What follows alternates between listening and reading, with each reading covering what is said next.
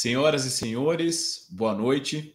O Instituto Federal do Paraná, campus Assis Chateaubriand, tem a satisfação de realizar neste momento a cerimônia de encerramento da sétima edição da FEPIAC, Feira de Ensino, Extensão, Pesquisa e Inovação, segunda edição do CEP, Seminário de Pesquisa e Extensão do campus Assis Chateaubriand, e a nona edição do IFTEC, Feira de Inovação Tecnológica. As atividades desses três eventos, durante os últimos dias, contaram com a apresentação de trabalhos ao vivo e no formato de vídeo pôsteres, e contribuíram com o enriquecimento dos currículos acadêmicos de todos os participantes, bem como com a formação cultural, com o desenvolvimento da empatia, da sensibilidade e do respeito com a produção dos colegas. Agradecemos e parabenizamos a todos os participantes e a todos os ouvintes também, que assistiram, curtiram e apreciaram os trabalhos apresentados. Agradecemos a todos, em especial. Agradecemos também a todos, em especial os que estão nos acompanhando virtualmente neste momento. Lembramos aos espectadores inscritos no evento que, para receber a certificação, realizem o credenciamento na plataforma do evento. Para isso, vocês devem fazer o login na plataforma Even, acessar a área de transmissão online e clicar no botão azul Acessar.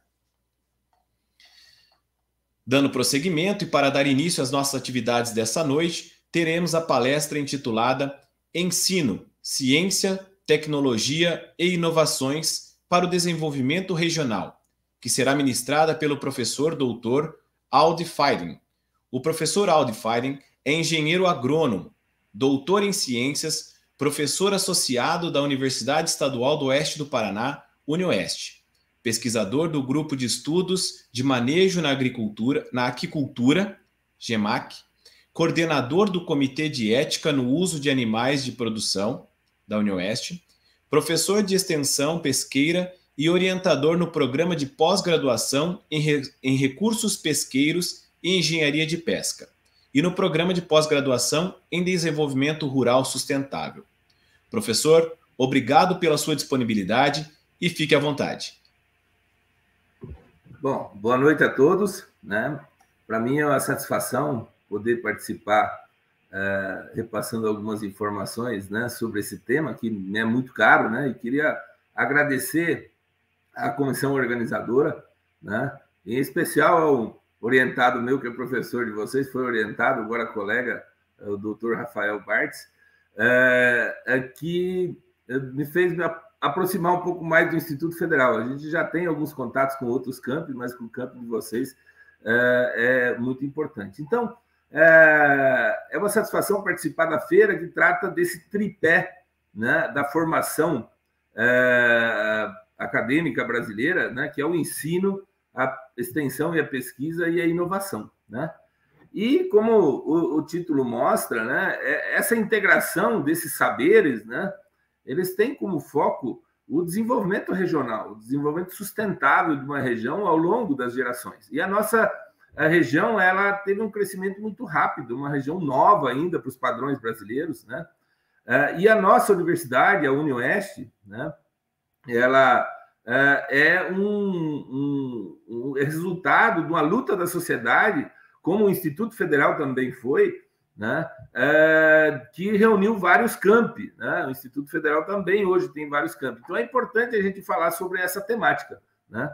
Então, é, eu queria iniciar é, trabalhando o tema, né, que é o que é o, colocando uma pergunta: o que é o desenvolvimento sustentável? Né?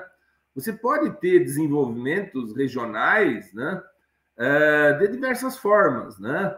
Desenvolvimentos que são, que a gente chama de é, um desenvolvimento que é exógeno, que você traz tecnologias de fora né, é, e adapta né, para a região, ou você também desenvolve é, uma, as, os saberes locais né, e faz uma integração. Então, na verdade, se a gente puder analisar, é um, é um cubo né, que é que você precisa montar e conforme faz fazendo essa montagem você vai você vai promovendo um de, desenvolvimento esse desenvolvimento ele pode ser analisados sobre várias dimensões, né? dimensões ecológicas, dimensões sociais, a dimensão econômica. E, e quanto mais consciente for, for feito esse trabalho, mais participativo ele for, ele vai ser mais ou menos sustentável. Né? Nós temos, o mundo nos últimos anos tem passado por algumas crises, né, que a gente vai comentar depois, e, e a questão do, uh, do ensino, da pesquisa e da inovação visam trazer tecnologias né, uh, e processos de gestão que uh, buscam fazer com que a gente articule essas três dimensões de forma que você tenha um, um centro de desenvolvimento sustentável, né? que ele seja suportável do ponto de vista ecológico e social, viável do ponto, do ponto de vista ecológico e econômico, e ele seja equitativo na questão é, entre o social e o econômico. Não adianta você ter um desenvolvimento muito, é, muito forte no econômico e você ter problemas sociais, né? Não adianta também você ter uma economia muito forte se você é, degrada o meio ambiente e as próximas gerações vão ter esse, esse problema. Né? E também não adianta pensar só na questão ambiental uh, se você não pensa no homem que está naquele ambiente, no social. Então, o, a questão do desenvolvimento sustentável que a gente busca, e isso só se consegue pelo conhecimento e pela socialização do conhecimento, nos diferentes níveis da educação e nos diferentes níveis né, das ações uh, da sociedade. Né? Então, por exemplo, como que a gente define é, a questão das políticas públicas, né, dos investimentos, das, de, levanta as demandas que uma determinada sociedade tem ou uma determinada região tem. Né? Isso a gente chama que é, é definido pelas políticas públicas. Essas políticas públicas elas podem ser a nível federal, a nível estadual, a nível municipal, e elas obedecem a um determinado ciclo. Né? E esse ciclo dessas políticas ele pode ser, às vezes, implantado de uma forma eh, mais induzida pelo Estado e outras vezes mais induzidas pelo, pelo, pelo mercado, né? Então, pela, pelas demandas que você tem do mercado e da sociedade. Né? Então, primeiro, o que, que você precisa para você formular uma política pública?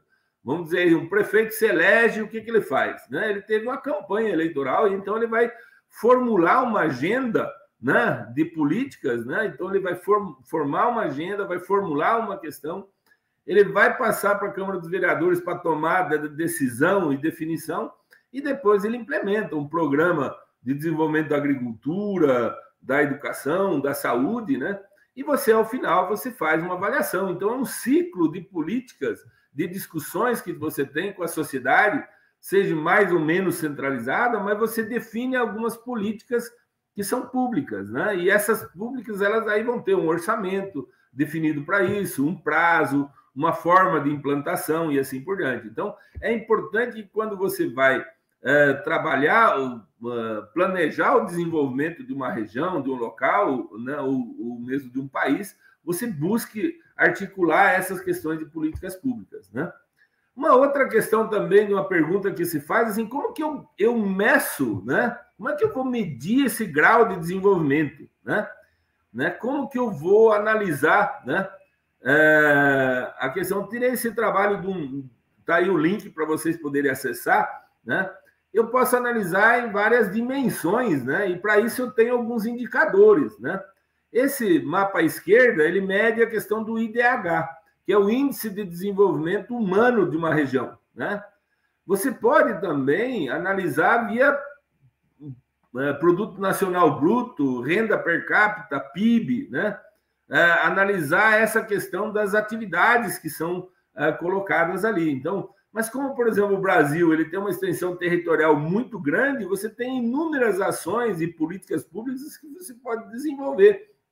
Você pode desenvolver, por exemplo, é, políticas setoriais né, para um setor para o setor ambiental, por exemplo, para a ocupação racional da agricultura, desenvolvimento racional, para a industrialização, para a questão da exploração do oceano, por exemplo, o uh, uso do petróleo e assim por diante. Então, você vai definir algumas ações e você vai trabalhar com esses indicadores, né? Então, por exemplo, na questão do IDH, é, que é o Índice de Desenvolvimento Econômico, você tem desde nível municipal, regional né, e, e nacional. Então, por exemplo, você tem alguns indicadores, por exemplo, esperança média de vida à, nascença. Né? Quantas pessoas sobrevivem né, é, né, nos primeiros anos? Então, permite avaliar. Então, a questão vida longa e saudável. Qual o, o tempo médio de de vida da população. Algumas regiões são mais, outras menos, mas você pode fazer investimentos na área de saúde, né, que você pode reverter esse quadro, quadro e reduzir, melhorar esses indicadores, né? No caso da, da educação, né, também você mede pelo número de médio de escolaridade, de anos de escolaridade eh, esperado, né, que você tem para uma determinada região, e aí você tem do IDH baixo, médio, elevado e muito elevado. E também né, sobre o padrão de vida, né, sobre os rendimentos né, financeiros da família. Né? Então, você, com esses indicadores, você consegue saber quanto que você tem, e nesse caso do, do padrão de vida, do, do rendimento per capita, né, você come, pode comparar, se você dolarizar isso, você pode comparar com outros países. Né? Então, são são ações que você deve medir no seu desenvolvimento. Como é que está indo o desenvolvimento da nossa região? E para isso é importante que a gente estude isso, não só no curso de economia, mas nos outros cursos uh, também, né, que, que envolvem né, a, a, o desenvolvimento de uma região. Né? Bom, uh, eu vou falar um pouquinho né, da questão do, do, do ensino da ciência e tecnologia, mas vou começar pela questão do do aspecto do sistema federal, de, de, Sistema Nacional de Ciência, Tecnologia e Inovação, porque esse dá uma base para a questão até das universidades, das escolas captarem recursos uh, de fundos públicos, né? Para que possa ser feito a, as atividades de ensino, né? Então, por exemplo, no, no governo federal, nós temos um conselho de ciência e tecnologia, né? É, que ele define algumas políticas, né? E nós temos algumas, algumas entidades federais, né, que interagem, né, com o Ministério de Ciência, Tecnologia e Inovação. Nos últimos dez anos aí nós tivemos uma mudança de nome muito grande, mas hoje nós temos o Ministério da Ciência, Tecnologia e Inovação, que congrega algumas entidades, né? É, como o CNPq, que é o Conselho Nacional de Pesquisa, né, é, desenvolvimento é, científico e tecnológico, a FINEP, que é uma agência de fomento à pesquisa, e outras organizações e unidades de pesquisa. E a direita, que está ali em verde, nós temos alguns uh, ministérios, né? O MEC, o, Ministério da Agricultura, uh, o, o que hoje é o, o, Ministério da Economia, Ministério da Saúde, né? E assim por diante. Então, você tem várias instituições que são vinculados, que são a gente chama de atores, né? Que fazem essa articulação e demandam recursos e implementam as políticas públicas do governo federal, né? Além do governo federal, esse sistema ele é mais amplo, ele integra né, o governo federal e os estaduais, né? integra as universidades e institutos de pesquisa, né? e integra, busca a integração com as empresas. Né? Então, nós temos um, um Sistema Nacional de Ciência, Tecnologia e Inovação é, que ele tem recursos, né? É, fundos é, financeiros, orçamentos de diferentes, diferentes origens, né? Alguns recursos eles são carimbados constitucionalmente. Nós estamos vendo agora uma discussão aí sobre mudança de, de parâmetros, né? Nessa questão dos fundos, né? e você tem algumas, algumas inter, inter-relações, né? É, e conforme essa interlocução vai ocorrendo entre o governo federal, né, os governos estaduais, as secretarias de ciência e tecnologia, as secretarias de, é, de é, ligadas ao Ministério da Educação, né, e assim por diante, você vai ter essa articulação. Além disso, nós temos uma questão ligada ao setor privado, né, que são a questão das empresas, os sistemas de, de de transferência de tecnologia e assim por diante. Porque as empresas elas podem contribuir e devem contribuir muito com a questão da pesquisa e da incorporação dos novos conhecimentos, das novas inovações. Porque quando alguém né, faz um projeto de pesquisa e descobre alguma questão eh, nova, ela só vai ser considerada inovação se ela for incorporada no processo produtivo. Né? E isso tem que ser é, fazer essa transferência dessa tecnologia. Né? Então, aqui tem umas, uma, umas frases né, que, que gosto de citar muito. Né? Né? É, um marco regulatório importante na ciência e tecnologia brasileira foi instaurado com a promulgação da emenda Constituição, a emenda Constituição 85, de fevereiro de 2015, que determina o papel do Estado na promoção do desenvolvimento, eh, na promoção e incentivo do desenvolvimento científico, pesquisa, capacitação tecnológica, estabelecendo pesquisa básica, pesquisa tecnológica que tem prioridade do Estado. Né?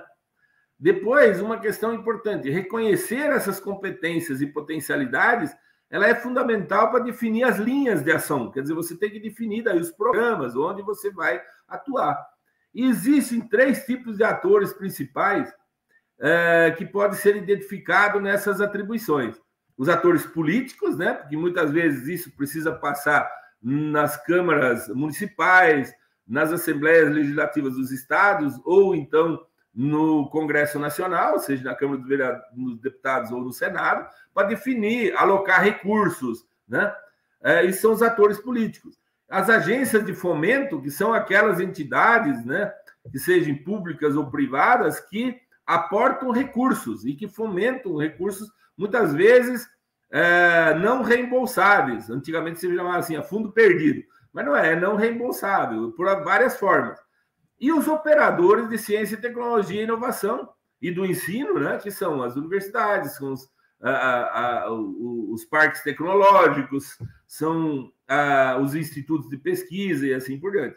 Então, aqui embaixo tem algumas questões. Por exemplo, eu posso conceder bolsas, eu posso conceder auxílios financeiros, né, ou a, a infraestrutura, subvenção econômica, né? Então, tem alguns casos que a empresa que adota uma nova tecnologia, ela tem isenção, é, uma parte do imposto pode ser descontado se ela investir em contratação de profissionais ou incorporação de novos processos tecnológicos. Outra questão de empréstimos a juros, a juros uh, subsidiados ou, ou não, mas uh, diferenciados, né? algumas coisas como renda variável, pode ser encomendas tecnológicas, né? incentivos fiscais e outras questões. Então, uh, o tal do capital semente, né? E tem algumas, as startups, por exemplo, de você alocar recursos. Então, uh, você tem várias formas de fomentar essa questão da pesquisa e da inovação e a própria questão da formação profissional dos mais variados níveis, né? Aqui tem alguma eh, questão de que foi definido nas estratégias nacionais de ciência e tecnologia, né? Que ela tem várias ações aqui que foram planejadas de 2006 a 2019, né? Garantia da segurança hídrica. Vocês viram que até uns dias atrás, antes da chuva, você tinha uma preocupação muito grande. E ainda agora, na, na conta de energia, né, nós estamos com, com a bandeira vermelha pagando caro, porque os reservatórios eles foram, eles foram deplecionados. Né? A questão segurança alimentar, né? você tem aí toda a questão da fome uh, uh, assustando novamente, né? A questão da energia elétrica que eu comentei. Né? Segurança e defesa cibernética, né? a questão uh, da internet, né? Uh, sociedade, da sociedade digital, você tem que investir no 5G, né? E assim por diante. A manutenção e liderança nas energias e combustíveis uh, renováveis, né? Exploração do petróleo, e assim vai. Você tem a mitigação e adaptação à mudança do clima, então você tem uma série de, de ações prioritárias, né? Uh, que são definidos geralmente a cada cinco anos, né? Quatro, cinco anos a cada cinco anos você define isso. Né? E aqui é, tem um mapa né, em cima daquela questão dos atores. Se você pegar o Brasil, você tem várias instituições que são de ponta no Brasil, né? extremamente de ponta. É, vou citar só algumas desse monte que tem aqui, tem muito mais outras. Né? É, nós temos, por exemplo, né, o INPE. Todo mundo conhece o INPE pela previsão do tempo, né, pela questão do, dos radares que detectam o desmatamento da Amazônia, e você tem uma série de. Então, né, você tem essas, essa, essa instituição, que é o Instituto Nacional de Pesquisas Espaciais, que faz a previsão de catástrofes. Né? Esses dias passou um vendaval aqui em Toledo, mas tinha a previsão de que poderia passar um vendaval aqui. Então, é, você tem no âmbito nacional outra questão, por exemplo, da Embrapa, né? É, a Embrapa é um órgão que desenvolveu as tecnologias para produção de soja em todo o Brasil, né? E assim por diante. E algumas áreas, né? Elas são prioritárias a nível federal, né? Aqui tem uma notícia, inclusive, agora recente, né? É, do, né, desse ano aqui, por exemplo, coloca assim: o Ministério de Ciência e Tecnologia limita recursos do CNPq para projetos apenas para áreas tecnológicas do T23. Então, por exemplo, o que, que tem? Algumas áreas, né, elas acabaram não tendo recurso, né? Mas as áreas prioritárias a nível federal, elas são tanto na questão estratégia, a, da área de habilitação, né, de você formar recursos humanos, né, áreas de produção, foco no desenvolvimento sustentável, qualidade de vida e assim por diante. Então, são algumas áreas prioritárias, né? Já no sistema do Paraná, eh, eu tive né, a honra de ter trabalhado por um período atuando no Fundo Paraná, que é uma que na unidade gestora do Fundo Paraná, onde a gente definia a, através eh, no sistema paranaense de, ciência e tecnologia, né, uh, a gente definia as áreas de investimento e formulava programas que eram disponibilizados para as universidades e para os institutos de pesquisa. O Paraná tem uma característica muito interessante que nós temos um, junto com São Paulo, nós temos muitas universidades públicas estaduais. No Paraná nós temos sete universidades, né? São Paulo nós temos uh, três universidades, que é a USP, a Unesp e, a Unicamp, que são entre, as, entre as 10 melhores, entre as 20 melhores do Brasil, são, são três são paulistas. Né? Nós temos vários institutos de pesquisa que são públicos aqui no Paraná, e nós temos muitas empresas né, com núcleos de inovação tecnológica. Né? Então, é, além das universidades federais, que nós temos quatro universidades federais uh, públicas aqui na, uh, no Paraná, que é a Universidade Federal do Paraná, a, a Universidade para a Integração Latino-Americana, a UTFPR, né, a Tecnológica Federal, e nós temos a Universidade da Fronteira Sul. Né? Então, nós temos aqui um, um, um, um universo, um sistema muito rico né, de instituições que, aliadas às instituições privadas, fazem com que o Paraná tenha um desenvolvimento tecnológico muito grande que deixou a gente ah, na frente de várias áreas, principalmente do, da agricultura, né, do agronegócio, né, da agricultura familiar, que ah, trabalhando na questão da agroindustrialização. Daqui a pouco a gente vai falar nisso. Então, o sistema paranaense ele tem os recursos de ciência e tecnologia que são definidos pela, pela, pela Constituição brasileira e pela Constituição do Paraná, que tem que de, de, investir 2% é, da receita corrente líquida do Estado tem que ser investido em ciência, tecnologia e inovação. E no, no Paraná, as áreas prioritárias do Conselho Paranaense de Ciência e Tecnologia, ele foca várias questões, né? Agricultura e agronegócio, como falei agora há pouco, a parte da biotecnologia e saúde, né? Nós temos vários hospitais uh, que se mostraram hospitais universitários, né, que se mostraram hospitais regionais, se mostraram extremamente importantes no combate à pandemia, né? A, a questão das energias inteligentes, né, energias renováveis e tal, cidades inteligentes. Toledo faz parte de um programa federal e estadual, né, que é Toledo Digital, né? Tem uma questão aqui de a nossa região é bem bem servida nessa questão da digitalização. É, no foco na educação, visto que nós temos um sistema estadual muito forte na questão, não só no ensino médio, que seria a sua responsabilidade constitucional, mas também temos no ensino superior, e a área de sociedade e economia, né? Você ter essa questão é, de foco na qualidade de vida da sociedade, infraestrutura e assim por diante, né? E como áreas transversais, nós temos o desenvolvimento sustentável e essa transformação digital. Então, para organizar isso, você precisa uh, dar condições de que nos diferentes níveis uh, da formação uh, do ensino brasileiro, do, do, ensino paranaense, você consiga fazer, dar condições a que os alunos, e juntamente com seus professores, eles desenvolvam atividades que sejam inovadoras, né? Inovadoras tanto no desenvolvimento de produto, de processos e assim por diante. Então, por exemplo, nós temos uma característica muito interessante aqui no Paraná, que nós temos bolsas de PIBIC Júnior. PIBIC é, é um programa de iniciação científica é, que é, é, fomentado pelas diferentes áreas do conhecimento. Né? Então, por exemplo, eu tive uma aluna no segundo grau é, que ela veio fazer, é, trabalhar no laboratório, conhecer o laboratório da universidade. Para ela, isso foi extremamente interessante. Né? Além das suas aulas na, né, no ensino médio, ela participou do laboratório. Ela escolheu o curso de engenharia de pesca, ao qual eu dou aula, porque ela gostou tanto do, do estágio dela, né?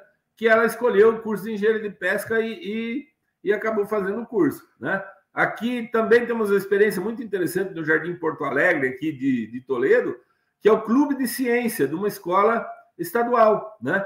Que agora, recentemente, é, uma aluna ganhou o prêmio nos Estados Unidos, né? Ela só não foi lá presencialmente para receber o prêmio por causa da pandemia. Mas é uma coisa extremamente interessante. Então, essas bolsas de iniciação científica é, de PIBIC Júnior, que é para o ensino médio, ou então de iniciação científica para alunos da graduação, é, é, ele tem a função de despertar a curiosidade científica e dar condições né, financeiras para que esses alunos, junto com seus professores, é, eles consigam trabalhar. Né? Hoje nós temos vários uh, a bolsa de iniciação científica hoje está em torno de 400 reais por mês para o aluno trabalhar na, num período de cerca de 10 a 20 horas por semana para ele poder auxiliar o professor dos laboratórios, uh, fazer trabalhos de campo e assim por diante. Também nós temos algumas bolsas, né, modalidades que é, são mais recentes, né, tem mais ou menos 15 anos aí só, né, que são as bolsas de extensão universitária, né? Né, que a gente chama isso de PIBEX, né, no, na, dentro da universidade, são bolsas de extensão, para que uh, ele leve uh, e busque informações uh, junto com a, as empresas, as entidades não governamentais, nas associações, e conheça, além da sua formação profissional na universidade, ele conheça a realidade que está no entorno ali da, da universidade, né? Como também nós temos as bolsas de iniciação científica, né? E, desculpe, iniciação à docência, que é um programa chamado PIBID, né? É um programa que começou federal e depois os estados também ah, ampliaram e as próprias universidades públicas também alocam parte dos recursos, que é a promover a integração do ensino médio uh, com, com o ensino superior uh, no, na, no foco das licenciaturas, né?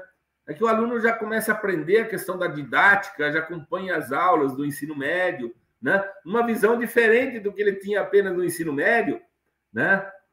Uh, que é a questão de ver o professor. Ele vai exercer o papel já uh, aprendendo como um professor planeja suas aulas, como ele executa, faz outras atividades. E também, mais recentemente, né, é, vieram as bolsas de iniciação ao desenvolvimento científico e tecnológico, né, que são bolsas que é justamente para desenvolver coisas inovadoras. Né? É, por exemplo, eu sei que vocês aí do Instituto Federal, né, no, no grupo de pesquisa chamado IFINOS, né, que alguns professores de vocês atuam, é, tem desenvolvimento de software, de processo de automação de processos. Eu vi uma aluna numa visita que eu fiz a, é, a Cis Chateaubriand, a, o instituto, né, de uma menina que, junto com o professor, fez um trabalho de automação de, eh, de casa, né, de todas as atividades da casa. Pô, interessante. Né? Então, essas, é, essa inovação tecnológica, seja no desenvolvimento de novos produtos, eh, novos processos, né, os softwares e outros aplicativos, é, é, uma, é uma questão extremamente importante e faz com que, tanto nas instituições públicas, como nas privadas, né, que seriam as faculdades, né, como a PUC, como a Unimel, uh, como a FAG, como a Unipar e outras instituições, o ISEP, Marechal Rondon, eles consigam também captar recursos né, para que é, faça essa integração do professor com os alunos e com a sociedade, com, com o, o, o entorno da universidade. Né? isso é uma questão extremamente importante, porque aí você também vai poder uh, trabalhar uh, numa coisa extremamente importante, uh, que é a aproximação das instituições públicas ou mesmo privadas de ensino e pesquisa com o setor produtivo, com as empresas, né? Aí nós temos um trabalho muito interessante, até tem um orientado que está trabalhando isso na área de psicultura, né? É, que é uma, um conceito né, do modelo é, chamado de tríplice hélice, que foi lançado nos Estados Unidos no ano 2000, né? É, que é, é a, a, que as universidades tenham, é, interajam com as empresas e com os governos por meio das universidades, dos parques tecnológicos, né? E, e busquem a inovação, né? A criação, por exemplo, de startups, né? E que depois vão ser incentivados é, pelo setor privado, através de financiamento, através de empréstimos, através de compra do, do, do, processo tecnológico, né? E assim por diante, né? Então, essa é, integração, é, essas parcerias, elas, elas, elas devem atender as demandas que o setor produtivo tem. Por exemplo, nós temos agora, na minha área, que é a piscicultura, uma demanda muito grande pela questão da automação do processo de produção. Vou explicar isso um pouco mais para frente para que o produtor não tenha um trabalho penoso, por exemplo, para ele tratar peixe, carregar saco nas costas de ração. Ele, ele não tem esse trabalho da penosidade do trabalho, mas ele facilita, que ele tem equipamentos que consigam fazer esse trabalho para ele, né? E essa integração entre universidade e empresa, ela só vai se consolidar uh, de verdade se tiver recursos para isso, né? Então, muitas vezes a universidade e a empresa se juntam, elaboram um projeto para mandar para um edital que financie é, pesquisas de inovação. Né? Então, é, nós tivemos muitos trabalhos aqui na área do peixe, no nosso curso de engenharia de pesca, e, e particularmente no nosso grupo de pesquisa, que a gente conseguiu só buscar recurso do, do governo federal é, porque a gente tinha parceria com a empresa, né? Inclusive, ele montou um frigorífico escola para ensinar o pessoal a trabalhar como abater pescado e, e tal com recursos federais em parceria com prefeituras e, e, e empresas, né?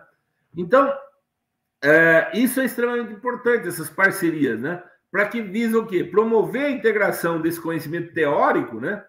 Com a prática profissional. Muitos é, profissionais, quando trabalham em parceria com a empresa, quando eles formam, eles são contratados, né? Porque é, o, as empresas já veem, já veem a experiência e a capacidade do aluno. Muitas empresas lançam programas que são chamados hoje de trainee, né?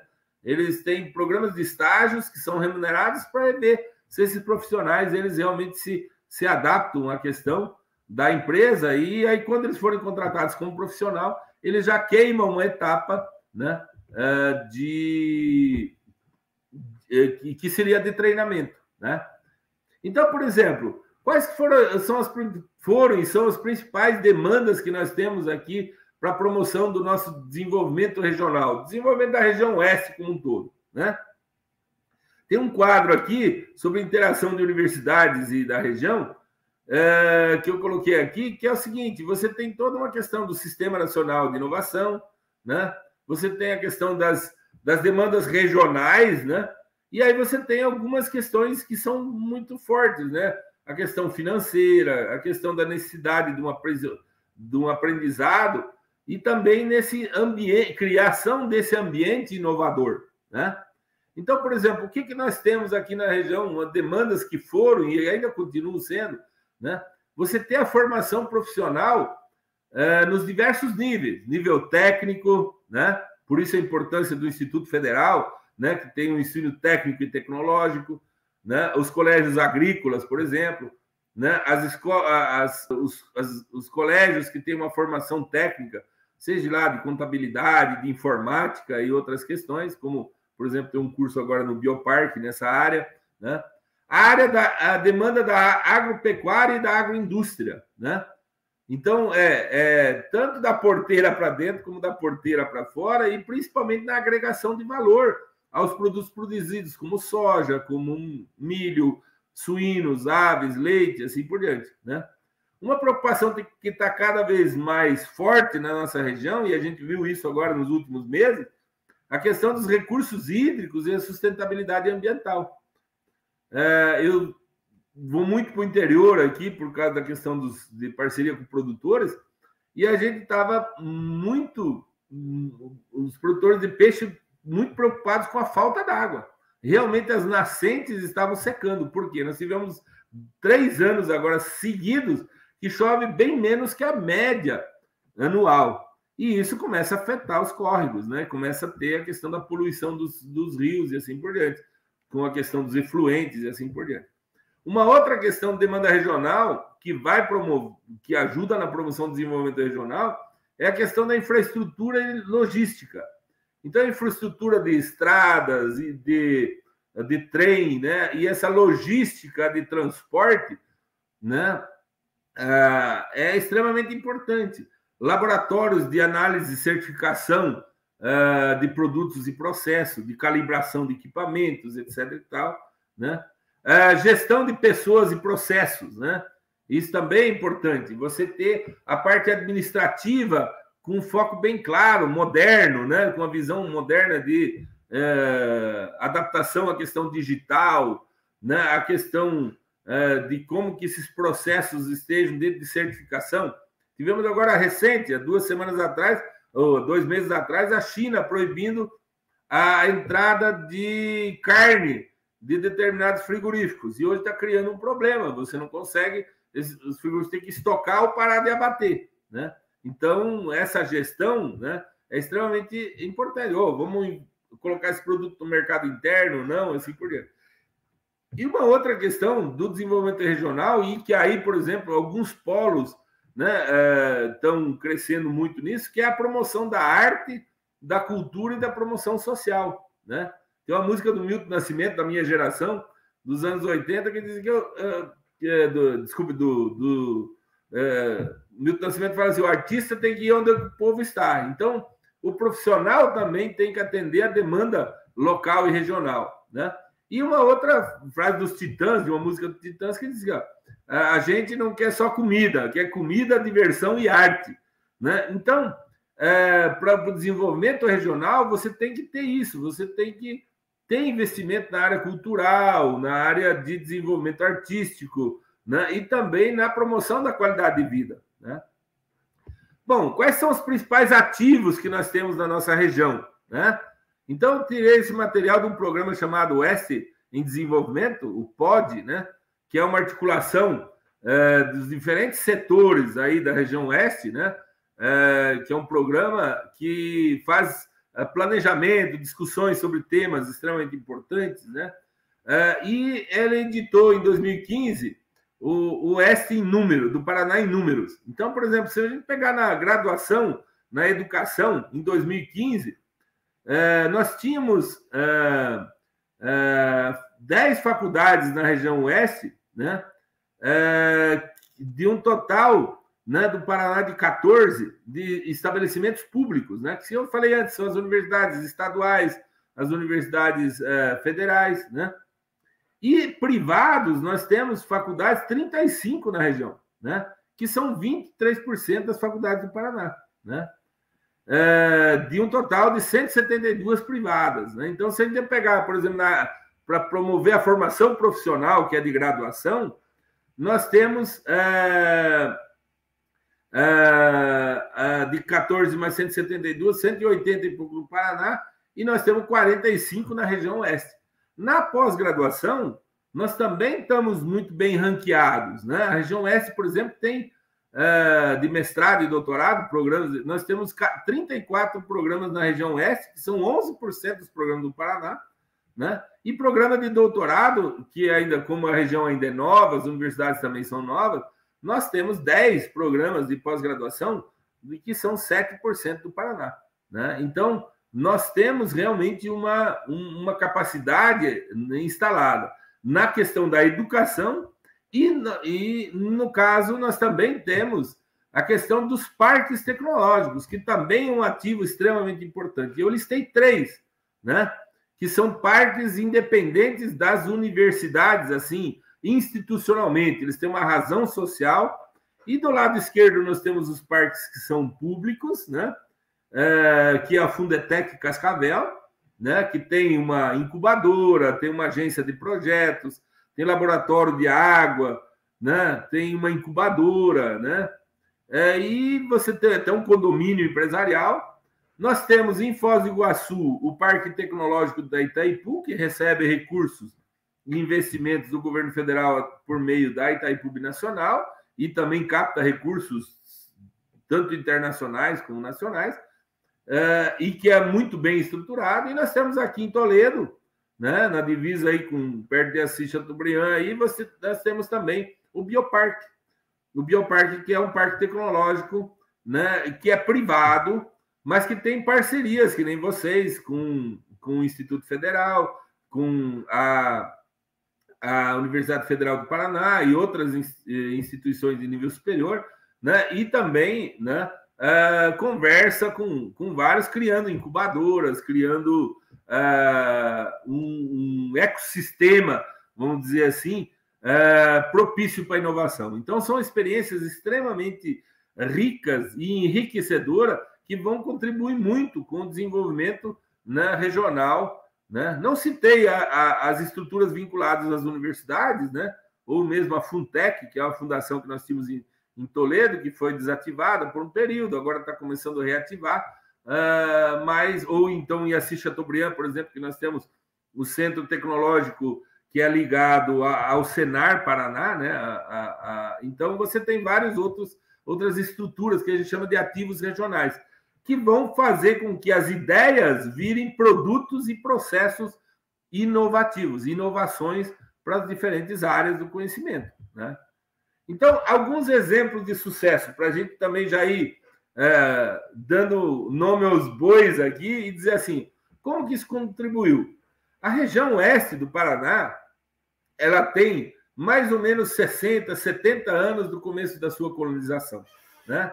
A colonização da região oeste do Paraná começou aqui né, pelos uh, uh, agricultores do sul uh, vindo para cá, e do norte do Paraná até a região aqui de Assis Chateaubriand, jesuítas, e essa, essa questão. Do norte veio o café, e do sul veio a produção de milho, soja, suínos e aves e leite. Né? Então, o que, que nós tivemos no começo? Tivemos a derrubada de matos, nós tivemos, do, do mato que tinha, a produção intensiva na época, sem nenhum controle de conservação de solo e água. E aí, nos anos 80, a gente viu uma degradação muito forte, né? com enxurradas que levavam a parte boa do solo para os rios, né? uma contaminação muito forte.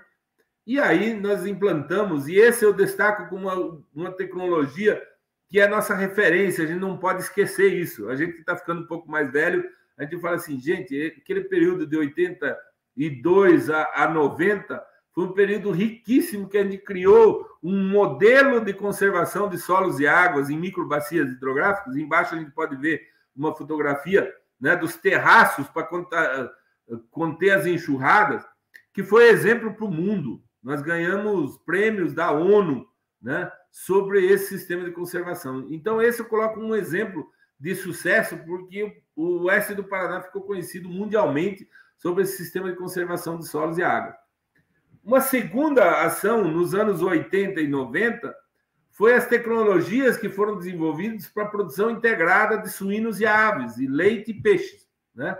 Então, por exemplo, com a geada de 1975 e as crises econômicas dos, né, do começo dos anos 80, né, muitos de vocês não eram nascidos, mas eu era, e eu posso dizer que as cooperativas, empresas como a época Sadia, hoje BRF, e outras é, empresas da região, elas começaram a criar tecnologias, desenvolver tecnologias junto com faculdades, institutos, né, Embrapa e outras entidades, e a Par no Paraná, Emater, né, é, tecnologias para produção integrada de suínos em pequena propriedade, né, de leite, começaram a invasar o leite, começaram a botar frigoríficos de suíno com cortes especiais, a, a, a, criação de um padrão de aves, né, que foi inicialmente para o mercado interno e depois ele foi para exportação.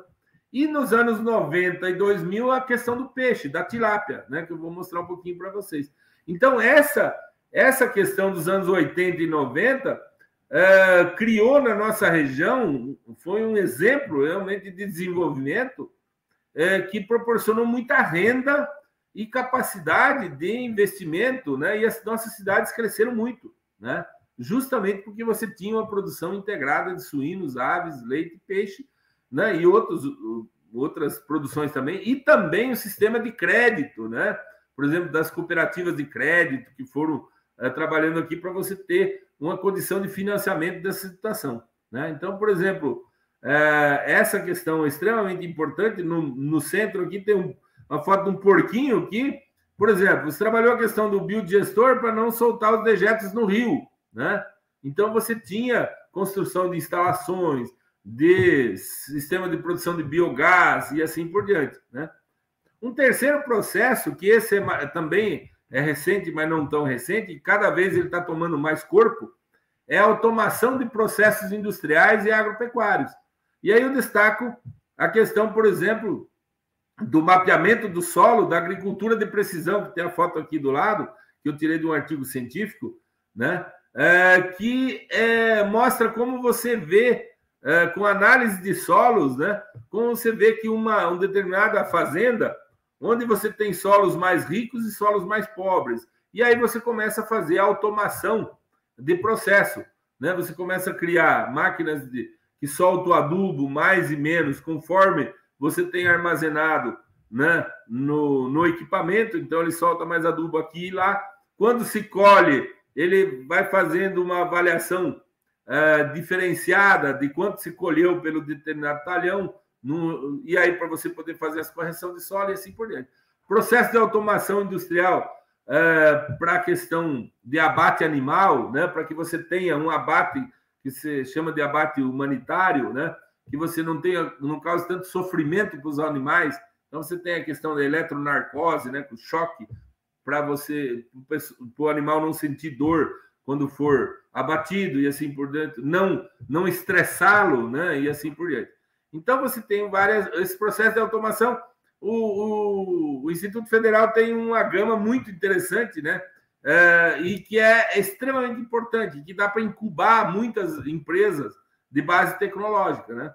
E uma outra questão é a agregação de valor a subprodutos agrícolas ou agroindustriais, né? Então, produtos que eram, que eram resíduos agora viram produtos extremamente importantes, né? No caso do biogás, por exemplo, do biometano, é um dos exemplos né, importantes. Outra questão é o resíduo do peixe que ia para a indústria, só um terço do peixe vira filé de tilápia, por exemplo, de tilápia. E os dois terços faz o quê?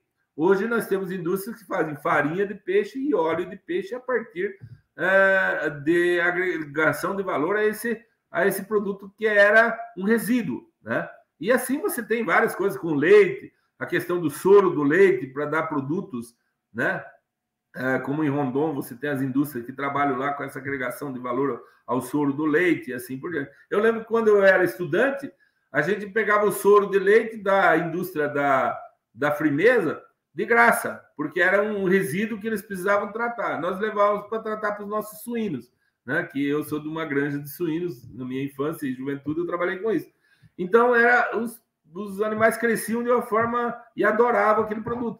E hoje isso vira novos produtos que fazem com que as empresas consigam se viabilizar e, inclusive, ganhar, agregar valor ao seu produto e beneficiar seus produtores, né, os setores de, eh, econômicos da região. Né? Então, esses exemplos de sucesso, eu quero trabalhar com, mostrar três questões para vocês. Eu não quero entrar nos detalhes, porque daí eu vou daqui a pouquinho eu abro para a pergunta de você. Primeiro, eu vou falar da minha área, né? Nós, durante 20 anos, trabalhamos aqui produzindo tudo que é tipo de peixe num viveiro, né?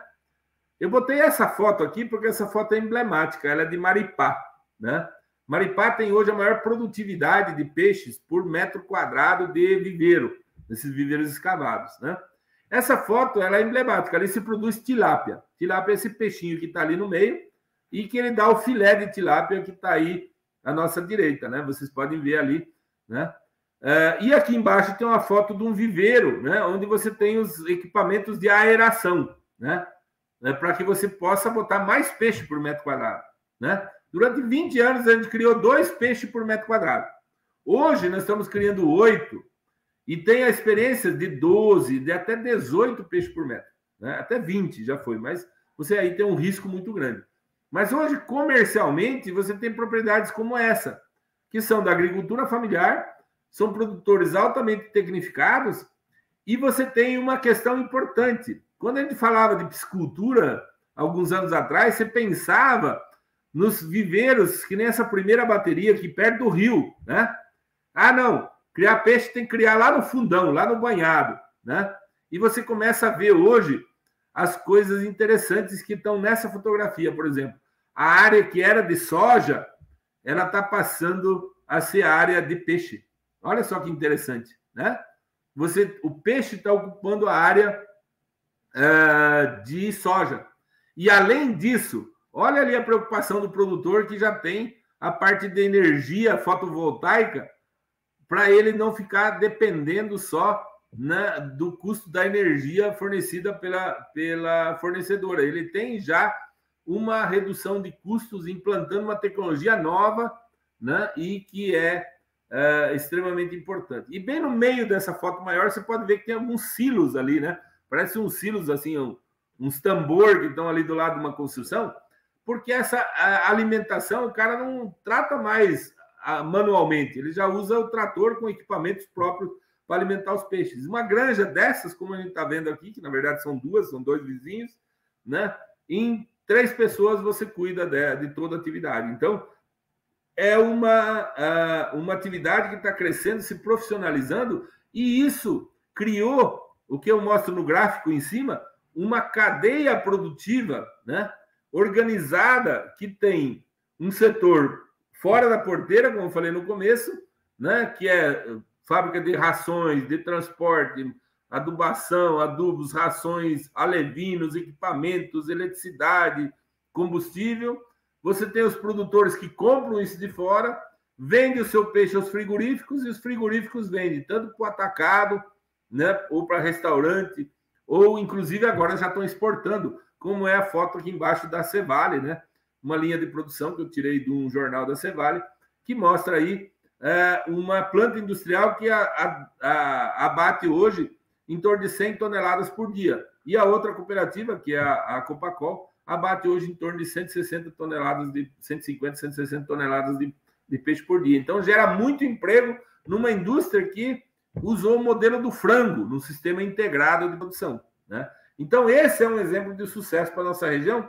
Por exemplo, Maripá, hoje, a questão do peixe, ela representa 7% da receita da, da agropecuária do município. Né? E perante as outras cadeias, né? que nós temos também soja, milho, suínos, aves, leite, mas a tilápia já representa né, 7%. É bastante, vai crescer mais ainda. Né? E em Toledo, que tem o maior PIB, né, o maior valor bruto da produção, de 3 bilhões e meio, a tilápia aparece lá na estatística, é 2%. Mas 2% de um montão né, de 3 bilhões e meio mostra a força dessa atividade, que é extremamente recente, né, e que teve o desenvolvimento tecnológico aqui da região. Hoje nós temos na região 2 mil produtores, né, dos quais mil deles são produtores que trabalham é, de uma forma muito tecnificada, né? E que tem uma preocupação com a qualidade da água, né? Porque olha ali, ó, essa propriedade solta água, mas o vizinho que está ajusando, quer dizer, abaixo no rio, vai captar essa água também para utilizar. Então, a preocupação com a qualidade de água tem que ser importante. Tanto é que foi incluído uma série de exigências né, para o licenciamento das propriedades para que elas se adaptem a essa questão da sustentabilidade ambiental também. Um outro caso, né? Não vou entrar em muitos casos, mas vou deixar aberto para perguntas. É o lado esquerdo aqui, que é a questão do biometano. Né? Nós sempre falamos do biogás, biogás, mas biogás não era uma coisa regulamentada a nível federal. Né? E a Itaipu, pelo Parque Tecnológico de Itaipu, fez um trabalho extremamente importante nos anos 2000 é, e começo dos anos 10 aí, uh, para regulamentar e criar um produto chamado biometano. Então, agora não fala muito de biogás, a gente fala de biometano, que é um, que é um produto como óleo diesel, né, gasolina, etanol, ele tem um padrão, né? Ele foi tem uma legislação que define esse padrão. E no Paraná, em 2018, a gente consolidou a política estadual de biogás e biometano. E essa foto aqui embaixo é um investimento de um grupo de empresários que fez em Ouro Verde do Oeste, que é um município extremamente pequeno, ah, de eles trazem os resíduos dos suinicultores do entorno, né, no raio de 20 quilômetros, com esses caminhões aí que dá para ver na foto de cima que estão em vermelho ali, caminhões tanque, joga o resíduo nesses biodigestores, onde tem aí a, a, a, esses tanques compridos ali, e na indústria eles têm as usinas, as turbinas que geram energia elétrica, né? Então você tem aí uma tecnologia extremamente inovadora, né, de produção de uma energia uh, renovável e que reduz o impacto ambiental causado pelos dejetos, né? Ele, é, ali entre Rios do Oeste também, hoje toda a iluminação pública já é feita é, com a questão toda, não, mas a, o projeto é que a iluminação pública seja feita através de energia gerada por, por, por biogás, uh, para produzir o biometano e gerar energia elétrica. E uma questão extremamente uh, mais recente e que está criando uma série de uh, novos projetos, né, de pequenas startups e empresas, é a questão da energia solar. Aqui eu peguei uma notícia do jornal Presente, de Marechal Rondon, numa estação de piscicultura, e hoje nós temos diversos piscicultores montando estruturas de células voltaicas para baratear o custo da produção, né? Porque quando você usa aeradores e tal, você gasta bastante energia. Então, por exemplo, nós temos um caso, um produtor de Maripá que passou para a gente que ele reduziu em mais de 50% a, o gasto de energia dele, porque ele de dia joga a energia na rede e, e, e aí ele, ele recebe, né? é, desconta do que ele usaria. Então, você tem aí um sistema de, é chamado de energia distribuída, que tem uma legislação já importante para isso. E aí, bom, é, vamos abrir para pergunta, mas antes disso eu queria fazer um desafio para vocês, né? Não foi programado com o pessoal, mas ó, é, esse mês de outubro ele é o mês da ciência e tecnologia no Brasil. E nós temos o prêmio Inova Oeste, e eu tive o prazer de estar aí no Bioparque, onde vocês têm aula em geral, né? Numa parte, nós tivemos o Prêmio Nova Oeste sendo, em 2019, sendo anunciado, né? Premiação. E agora está abertas as inscrições aí, né? De, do 15 de 9 de setembro até dia 31, quer dizer, da, no final da próxima semana aí, né? No portal do Programa Oeste em Desenvolvimento. Eu botei o link aqui embaixo, depois vocês pegam com os professores de vocês essa apresentação, que eu vou deixar eu já deixei com o professor Rafael. E aí você tem várias modalidades, né? Categorias de produto. Então, por exemplo, inovação em produto, inovação em processo e assim por diante, né? A inovação organizacional. E tem várias categorias que vocês podem é, é, concorrer. Então, fica esse desafio para vocês, né? É, que é a questão de inserir os alunos, os professores, né? Para esse prêmio Inova Oeste, que é uma uma experiência muito interessante e a gente espera que ele se consolide, né? Bom, gente, com essas fotos aqui, né, é, de produtos à base de tilápia, né, produtos que a gente fala que é de uma segunda geração, a gente vai precisar de muitos profissionais atuando nessa área, né, que são peixes sem cara de peixe, né? Então são produtos é, que a gente chama assim de uh, produtos de alto valor agregado que podem ser uh, produzidos e que ainda a gente tem muita coisa para fazer. Mas essa imagem, com isso, eu, eu agradeço aí vocês né, por ter, nesses 50 e poucos minutos, me, me, eh, me assistido aqui e abro para perguntas para a gente tirar as dúvidas de vocês. E agradeço mais uma vez a, a, o convite. Nós que agradecemos, professor Aldi, é uma temática sempre muito importante falar sobre ensino, ciência, tecnologia, inovação. E acho que o professor foi muito feliz colocando, né, que quando a gente fala em tecnologia e inovação, não é só o, o, produto inovador tecnológico, mas você tem inovação de processos, você tem inovação organizacional, né? E acho que é um tema aderente a todas as, as nossas gamas de curso que temos aqui, gestão comercial, nós trabalhamos bastante com, com os cursos técnicos de eletromecânica, é, eletrotécnica, né, e a informática agregada, sistemas embarcados, e é uma realidade que nós estamos vivenciando, né? O, o professor mesmo comentou, as agroindústrias são presentes na nossa região e o pequeno produtor hoje ele já tem acesso a essa tecnologia, né? e saber como se constitui essa rede de fomento, essa participação de todas as esferas, né? Reconhecendo o trabalho do Programa Oeste em Desenvolvimento, do SRI, né? Que nós temos participação aí com o professor Renato Guerreiro, participativamente, nossa participação também dentro do, do Bioparque e outras e, e outras organizações regionais aí no desenvolvimento regional. Novamente, muito obrigado, professor. Vamos então abrir, se tiver algumas é, perguntas, ou né, peço aos colegas aí que, que estão na, na transmissão aí que também coloquem, porque o que eu mais vi ali no chat foram os agradecimentos e, a, e né, as felicitações aí pela brilhante palestra do professor, né? Professora Sônia né, colocou ali o muito obrigado, professor. Professor Bartz, que o professor comentou, é agora colega, né? Participou do, do, do, programa de doutorado e agora colega. Então, obrigado, né, professor Aldi, por estar conosco é, Edson Correia ali, né, FEPIAC, com temáticas interessantíssimas, né, nessa questão de, de inovação e tecnologia.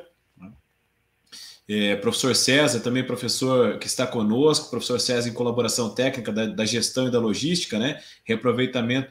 Esse reaproveitamento e utilização do todo é muito importante, né? Então, como o professor colocou, a cadeia produtiva toda, né? O aproveitamento do resíduo, formando biogás, retornando como energia, o sistema quase que ciclo completo e autossustentável, né? Professor Aldi, obrigado por compartilhar seu conhecimento, és nosso exemplo. Uma, uma alguns... questão só para te interromper um pouquinho, dizer assim, Fala, algumas inovações é, mudam mudam a questão da sociedade. Por exemplo, eu falo desse equipamento aqui, né, ele mudou o comportamento das pessoas, né, mudou, torna algumas coisas obsoletas. Se a gente lembrar que no começo do Brasil, né, na virada do século de 1800 para 1900, é, o pessoal usava lamparina com óleo de baleia. Né? A hora que, que se botou energia elétrica, se acabou com aquela profissão de acendedor de, acendedor de, de lamparina. Uh, e o celular veio a mudar o comportamento, né? inclusive de, da forma de pensar. Né? Então, hoje, por exemplo, uh, o meu sonho, meu pai, quando comprou enciclopédia, gastou fortuna para comprar uma enciclopédia para a gente acessar. Né? Hoje você tem isso ao toque de um dedo. Mas você tem outras questões, por exemplo, uma tecnologia que a gente chama de disruptiva, né? que ela muda o comportamento e muda a questão da sociedade, ela traz oportunidades muito interessantes. Por exemplo, eu vi uns alunos de um curso de engenharia de agricultura de Dourados, eles criaram um aplicativo para ajudar o produtor a jogar ração para peixe. Uma coisa extremamente simples, mas extremamente prático, porque o cara não precisa ficar fazendo conta no papel, tá na beira do açude, pesar o peixe, não sei o quê, e daí fica... ele só bota, bota lá que tudo sai na hora. Ele... Então, essas coisas. E foi isso que a Alemanha e o Japão se desenvolveram de uma forma muito grande no século XX. Eles fizeram pequenas adaptações, né? E que mudaram a, eficiência do produto. Por exemplo, vou dizer, você teve o motor de ciclo Otto, motor a gasolina, né?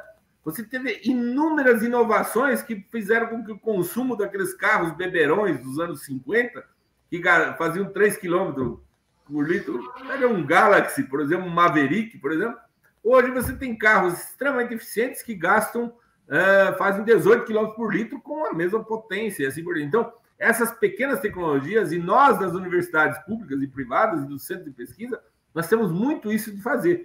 Usar as tecnologias para cá, seja de programação, desenvolvimento tecnológico, aplicativos, equipamentos que são ligados aqui, que possam ter controle remoto, para diminuir personalizado o trabalho, eficiência de gestão, uh, acesso à comunicação, etc. Então, essas pequenas tecnologias agregadas fizeram com que o Japão virasse uma referência, a Alemanha virasse uma referência em, em coisas e outros países, né?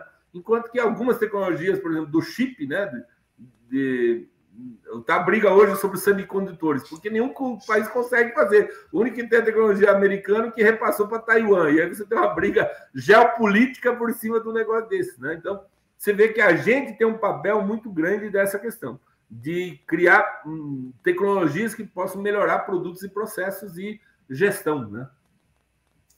A integração, na verdade, entre todas as esferas, né, professor? Às vezes, até a, a, o que falta um pouco, né, me permita fazer um comentário sobre a sua palestra, né, e talvez complementar aqui o assunto, o que falta um pouco talvez seja a proximidade entre as esferas, né? Às vezes as universidades estão um pouco fechadas em desenvolver tecnologia e o produtor está fechado em usar o que ele tem mas às vezes uma conversa e uma junção entre os dois, novas tecnologias se abrem, né? E a gente precisa realmente aproveitar essa, essa junção e essa acessibilidade que nós temos hoje aqui na região, né? Com as é, agroindústrias, com os produtores, produtores familiares ou associações de, de, de, produtores mesmo, né? E como o senhor comentou, as diversas universidades que nós temos aqui regionalmente, né? É, nós temos a facilidade de, num raio de 100 quilômetros, encontrar três, quatro cinco grandes universidades aí de referência, né?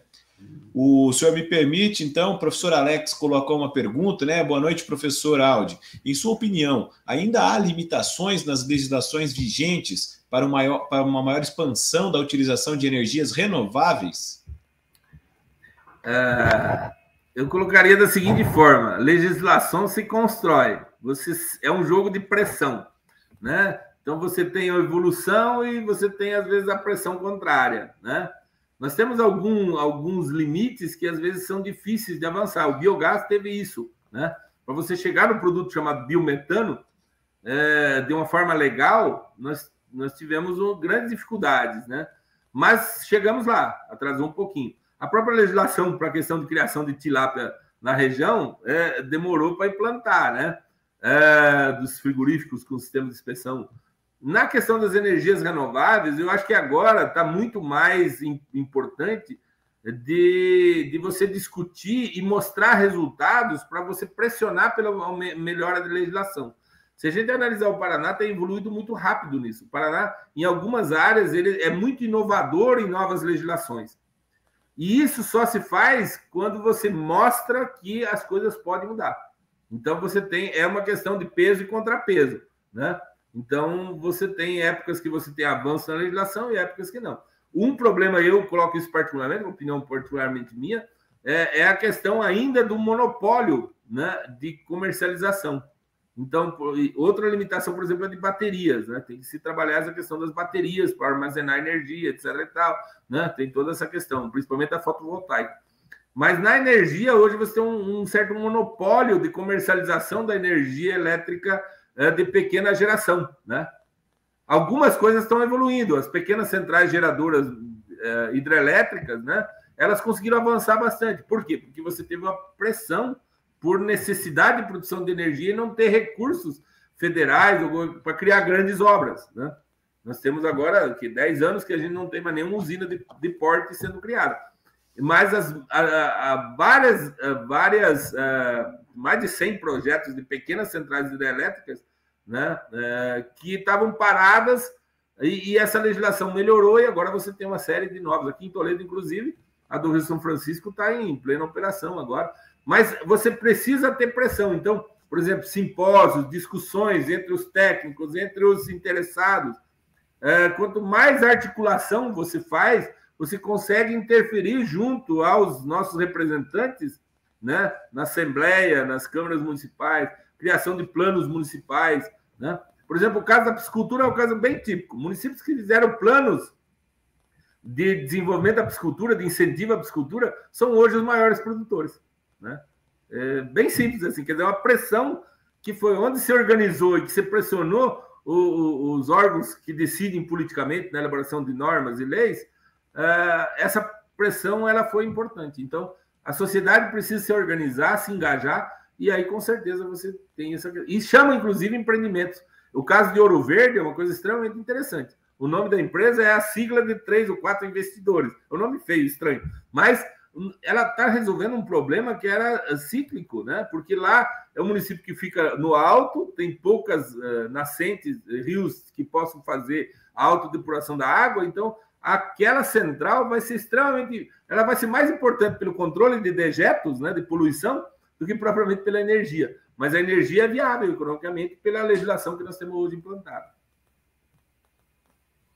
É, o sistema de, de né, infelizmente, infelizmente ou felizmente, né, nós temos uma, um monopólio funcional né, da, da, concessão de energia, e querendo ou não, você tem que passar pelas mão, pela mão da estatal. Né? Mas isso está se mudando, como o professor mesmo comentou, nos últimos anos a legislação avançou muito, hoje você tem uma acessibilidade grande a tecnologias que já são homologadas pelos órgãos reguladores, né? E você tem uma facilidade, como a gente está vendo aí, até desenvolvimento regional aí com, com empresas tanto na parte de instalação, manutenção, quanto na parte de desenvolvimento mesmo, né? Startups que estão desenvolvendo tecnologia desse ponto, né? E aí tem mais uma pergunta relacionada, já aproveitando esse gancho aí, né? A automação e a utilização de sistemas fotovoltaicos pode ser uma tendência para os produtores? Como o senhor vê essa questão? Ou a realidade para poucos produtores? Olha, muito interessante essa pergunta, porque é o seguinte: não é minha área, eu quero deixar bem claro, eu não sou da área de energia, né, fotovoltaica, mas eu, é, eu quando era moleque, meu pai implantou um biodigestor na propriedade e ele teve que vender uma chácara para botar o biodigestor, que era caríssimo. E o fornecedor de equipamento deu um calote, então foi difícil a gente fazer aquilo viabilizar. Né? Mas é, a questão é o seguinte: às vezes você não precisa pensar, é, é pensar que, ah, eu só não vou botar o sistema de fotovoltaico, por exemplo, porque você vai produzir energia de dia e à noite eu, eu não vou ter, né? Eu não posso fazer um sistema isolado. Bom, aí que as cabeças precisam funcionar. Às vezes você tem que pegar aquelas pequenas adequações. Nós temos um problema de bateria, né? Tem o Elon Musk aí fazendo lá na Califórnia um sistema de parque de baterias. Quando eu vi aquele parque de baterias, aquela foto, eu comecei a pensar, pô, e se a gente pegasse, né, ideias que a gente vai, né? não sei se isso é viável, tem que testar, né? Nós temos uma série de baterias de pequeno porte, você poderia ligar em paralelo, você poderia fazer, né? até que nível isso é importante ou não. Então, essa questão, às vezes você não precisa inventar novamente a roda, você precisa agregar novos componentes. Mas eu acho que é extremamente importante a energia fotovoltaica e outras energias naquelas áreas que são de difícil acesso, que tem muita perda, né? onde você pode a, a, aliar processos, né? Geração por determinado combustível, né? O gerador, por exemplo, na piscicultura, nós temos geradores porque às vezes cai a linha, porque é fim de linha, tem perda de carga e tal, cai a linha e o gerador tem que funcionar. Né? É diesel, mas se eu tiver um sistema de bateria, eu poderia fazer pequenos sistemas independentes. Então, tudo isso, né, se a gente analisar, né? É, é, você pode. São campos de trabalho, né? campos de pesquisa, né? e que, que poderiam ter, e tem muito na nossa região, essa questão do interesse do produtor, né? não só do produtor rural, mas também do, do pequeno empresário industrial, de ele testar novas questões. Né? Por exemplo, no abate do peixe por eletronarcose, nós tivemos a parceria de um, de um industrial né, que tinha um abatedouro que, que ele investiu né, num sistema que hoje é, é fundamental para ele, reduzir o mão de obra, reduzir o risco e etc. E tal. Então, eu acho que essa questão de, de automação em pequenos processos é, isolados ou interligados, né, é fundamental que a gente integre essa questão dos pequenos interessados né, do setor produtivo com as universidades públicas ou privadas. Ok. A, a microgeração distribuída. A internet começou assim, né? E hoje você é. tem a computação em nuvem, né?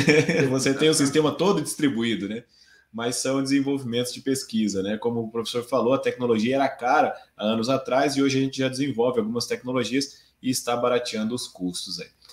É, temos mais algumas felicitações aí, né? De, sensacional, muito obrigado, professor Aldi, por compartilhar conosco. Direção de Ensino, Pesquisa e Extensão, professora Josiane, nossa diretora de ensino nos acompanha também, né? Cada vez mais as universidades e institutos precisam aproximar-se da comunidade externa, né? Identificando realmente a necessidade, né? A visão e a sensação, né? Eu vejo que a necessidade, a, o que a comunidade precisa, mas eu sinto que, o que a comunidade precisa, né?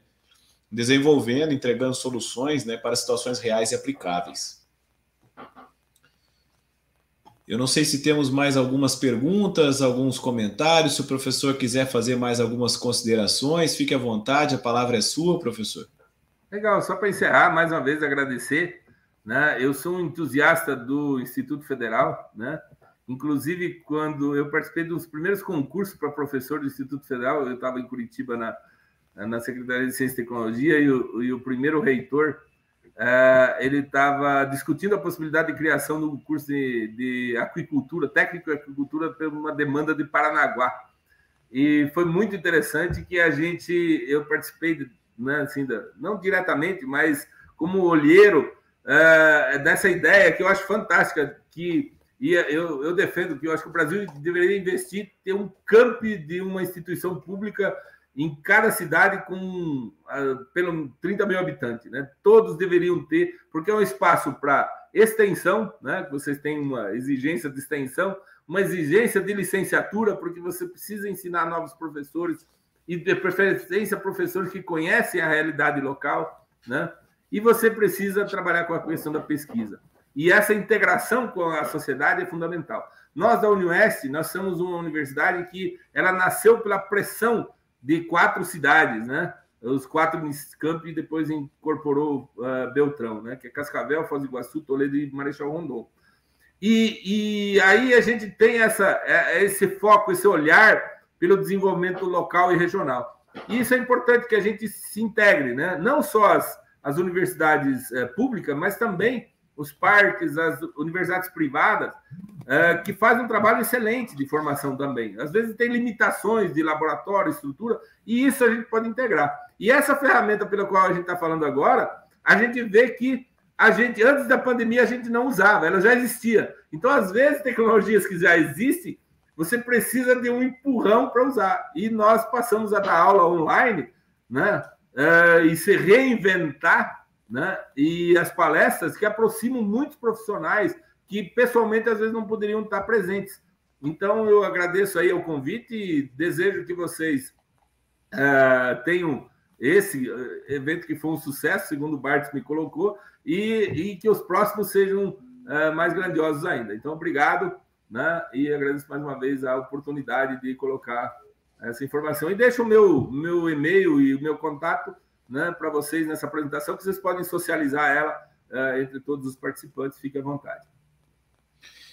Certo, professor. Obrigado novamente. Nós temos mais algumas perguntas no chat, mas dado o avançar da hora e do, dos demais protocolos, né? É, depois a gente repassa as perguntas. O professor pode fazer o, o, o intermédio aí e responder, né? A professora Milka fez mais uma faz um questionamento no chat lá. É, em nome do Instituto Federal do Paraná, Campus Assis Chateaubriand, nosso diretor-geral professor Vicente Estevan Sandeski, em nome do professor Roberto Ito, coordenador de pesquisa e extensão, que está é, organizando este evento, né, junto com os demais colegas aí do campus. Nós gostaríamos de agradecer o professor e parabenizá-lo e agradecer muito a disponibilidade né, em participar desse nosso evento, abrilhantando ele, compartilhando seu conhecimento e suas experiências conosco. Professor, muito obrigado.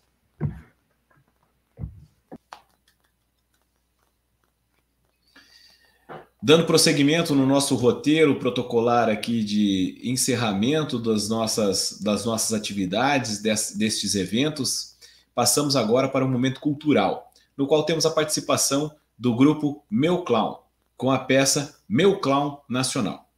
O grupo Meu Clown nasceu em 2005 na cidade de São Paulo e se mudou para Maringá, no Paraná, em 2011. Hoje ele é composto por diversos artistas, na sua maioria educadores em diversos contextos desde o ensino básico ao ensino superior.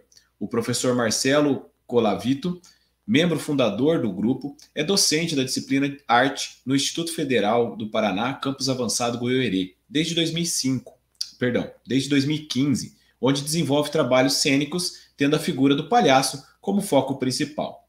Durante o período da pandemia, o grupo participou de diversas lives e criou material audiovisual para continuar fazendo arte independentemente das dificuldades que surgiram com o confinamento e o distanciamento social.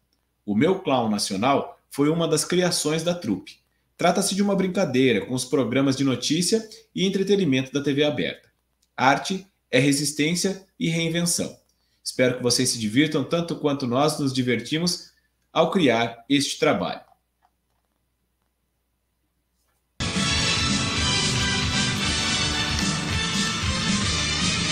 Boa noite! Estamos mais uma vez no ar com o meu clown nacional. O meu, o seu, o, o nosso nosso jornal palhacístico que mantém você sempre informado e informada sobre as últimas notícias da quarentena. E onde? Não. Dentro de casa. É, diz uma coisa, é, Pepe ainda tem quarentena? Eu tô vendo o povo na rua, na praia, na é, praça. É pra ter, né? E... Segundo o presidente. Não, é, segundo é, pula, o Ministério é. da Saúde. Vamos lá. É, e hoje teremos hum? notícias da semana. Oh, horóscopo do dia. Momento culinário e Previsão do tempo. Muito bem, e vamos ter também dicas de saúde. Fique aí até o final, hein? Então vamos às notícias da semana. Caiu mais um ministro da saúde. Meu Deus é... do céu. Será que ele se machucou? É, diz que foi, não sei se foi de bunda ou de cabeça. Ah, eu acho que foi de cabeça. É, né? muito bem. Ainda bem que ele tinha a carteirinha do SUS, porque ele foi prontamente atendido. Ah, é? É, diz que não houve fraturas graves, mas o estrago político foi grande. É, eu acho que ele furou fila. É. Vamos lá, próxima notícia. Hum? Show dos palhaços Atim e Espirro continua suspenso. Eles estão cogitando de fazer uma live. Ah, é melhor, não eu é? eu tinha comprado o ingresso. Não, mas na pandemia é. tem que ser online. É, fazer o quê? Vamos lá! Notícias do mundo encantado dos contos de fada. Na casa da Branca de Neve houve tumulto essa semana. A Tim continua isolado já faz mais de três meses. Então. Deixaram o anão ali, viu? Ele não vê a hora de chegar a vacina lá no Bosque Encantado onde ele mora. Ah, todo mundo, não só ele, não. É. Ah, o Zangado também está bem bravo, pois diz que não há vacinas suficientes. É. O Dengoso não quer sair da cama. Ele diz que tem medo da agulha e não faz questão que a vacina venha tão rápido. Oh, meu Deus. Muito dengo, né? É. O mestre diz que já está desenvolvendo uma forma de vacinação sem picadura. Oh, meu Deus do céu, essa tem gente que vai gostar. Não, hein? tem gente que prefere a picadura, né? Picadura da injeção, é, da injeção. a picadura. É, exato. Assim, os mais sensíveis não precisarão sentir medo da, da, de levar essa picadura. É, tem gente que até desmaia, né? Não é verdade? E adivinhe quem está feliz com a notícia? Hum? Que já tem quase quase um bilhão de pessoas no mundo vacinadas. Oh. É, meio, meio, é meio milhão já. Meio, não, meio bilhão, meio, meio bilhão. É, já estão vacinados no mundo. É, é, no mundo, né? É o Dunga. Ah. Dunga tá super feliz. Mas só que ele não disse nenhuma palavra até agora. É. é. Fica sempre quietinho. Mas pela sua expressão percebe-se que ele continua tão feliz quanto o feliz. É. E o Soneca foi encontrado dormindo em frente da TV. Meu Deus. É, suspeita-se que ele dormiu quando estava passando o pronunciamento do presidente. Ai, nessa aí eu nem durmo, eu desligo, né? É verdade, vai dormir, gastar energia com a televisão ligada. Eu não desligo, não, eu abro a janela, pego a minha panelinha, ó. Tá, tá, tá, tá, tá, tá, tá. Muito bem. E a Branca de Neve segue dormindo também. Ah, ela que faz bem, né? É. Mas deu um ano, é. eu queria passar dormindo nessa é. quarentena. Mas o príncipe chegou para acordá-la, né? Ele tá lá, mas foi aconselhado a esperar a vacina antes de beijá-la, né? É, é lógico. Tanto né? pra ele quanto pra ela. É, Mas diz uma coisa: esse negócio de beijar sem o consentimento, beijar a pessoa dormindo, é feio, né? Eu acho que tem que esperar ela acordar, né? É, mas se ela acorda, é, ela só acorda com o beijo. É. Esquisita essa história. É, é. Vamos passar isso daí pra sexóloga. É, deixa, né? deixa. Muito bem. E, e, e última notícia? Não, hum. penúltima notícia. Vamos lá. Pinóquio afirmou que o tratamento precoce seria a solução. O que, que aconteceu? Seu nariz cresceu tanto, tanto, tanto que agora não há máscara que caiba na sua cara. É... é. E aí, desse modo, ele não pode sair à rua. Por... Mas ele sai à rua sem máscara, eu já vi, viu, esse é... Pinóquio aí. Não, você tá falando do Pinóquio lá do Palácio do Planalto? Ai, mas não é esse? Não, é outro, ah, é do Mundo ah, Encantado. Ah, eu confundi, gente. É verdade, tem que... Pinóquio por toda parte. Tem, e lá no, no Planalto tá assim de Pinóquio. É, e tem um que é o chefe de todos. Ai, meu Deus do céu, quem colocou esse homem? É, tratamento precoce, gripezinho. É, Mentiroso. Queria que, queria que ele virasse madeira. verdade. Cara de pau ele já tem, é né? É verdade. Vamos lá. E agora, notícia de última hora. Meu Deus, é, diz que um palhaço foi pego aglomerando. Vamos ver as imagens. Olha lá, minha gente. Olha esses palhaços tudo aglomerado.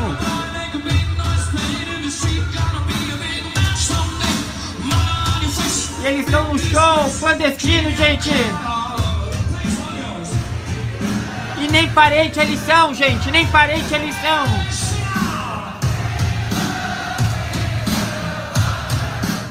Deus. Viu, Pepirelha? Que isso? Ai, meu Deus do Mas céu. essa aglomeração eu acho que não tem problema, tem? Ai, eu acho que tem, sei lá, né? Ai, até o Fred Mercury, hein? É, será que todo mundo foi testado? É, tem que saber disso daí. É, Bom, mas vamos agora a um pequeno intervalo musical e voltamos logo mais com o horóscopo do dia. Aguardem.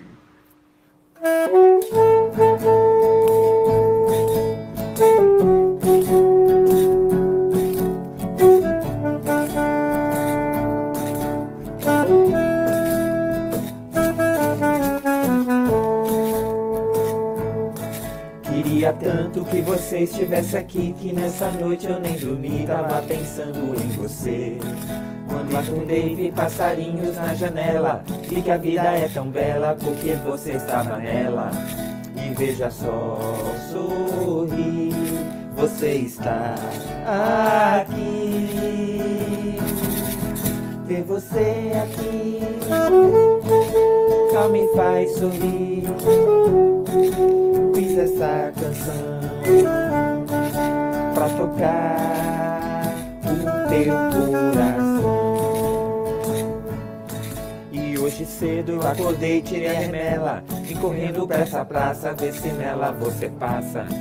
Quando olho pro céu tava armando um toró, não tive medo, veja só quanta vontade de te ver. E veja só, sorri, você está aqui. Ver você aqui só me faz sorrir. Fiz essa canção pra tocar o teu coração. Ver você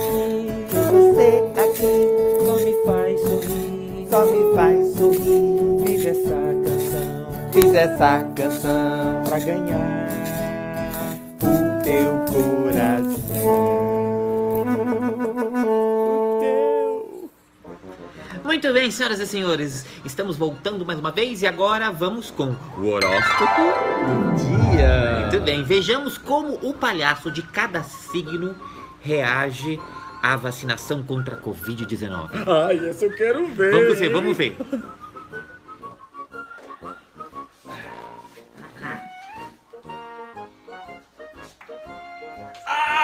Ai, moço! Ai! Ai! Por que tanta estupidez? Ai, até engasguei, moço! Olha só! Ai, tô nervoso! Oh, meu Deus do céu! Oh, me grosso! Ai, peraí, moço. Sabe o que, que é? É, é que eu, eu acabei de almoçar. É, será que não vai dar reação, não? Olha, vamos fazer outro dia. Vamos fazer o seguinte. Eu, eu volto outro dia em jejum. Ai. Ô, moço, tudo bem? Ah, essa, essa é aquela do Butantan, né? É, é, você sabe que já fui no Butantan, né? Eu já vi as cobras lá. Então... E fala em cobra, você assistiu Big Brother? Diz que lá tinha muita cobra, né? Ah, mas, moço, é, eu, eu- vamos conversar um pouco? Você não quer sentar aí? Senta aí um pouquinho, vamos? Bater um papo? Não quer? Sabe, moço, eu, eu tô pensando aqui uma coisa. É, eu, eu tenho família, sabe? Tem minha avó, minha tia, tem meus irmãos que não tomaram. Eu acho melhor deixar pra eles, sabe? É, que eles são até do grupo de risco. Eu nem sou tanto assim. É, vamos pensar o seguinte: é, eles primeiro. É melhor ser generoso. Ah, moço, é, tudo bem? Ah, pera só um pouquinho que eu quero tirar uma selfie antes. Espera aí. É, Tem que postar no Facebook, né? Tá. Isso, isso, pode- Não, não, pera só um pouquinho, moço. É, é, deixa eu passar um perfume.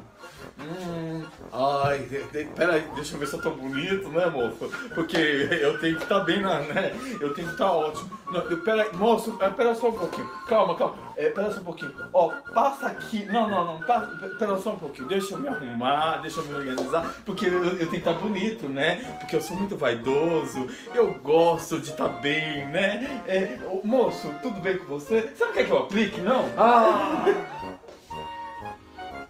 Opa, tudo bem? Ô moço, tudo bom? Esse aqui. Isso, né? Tá.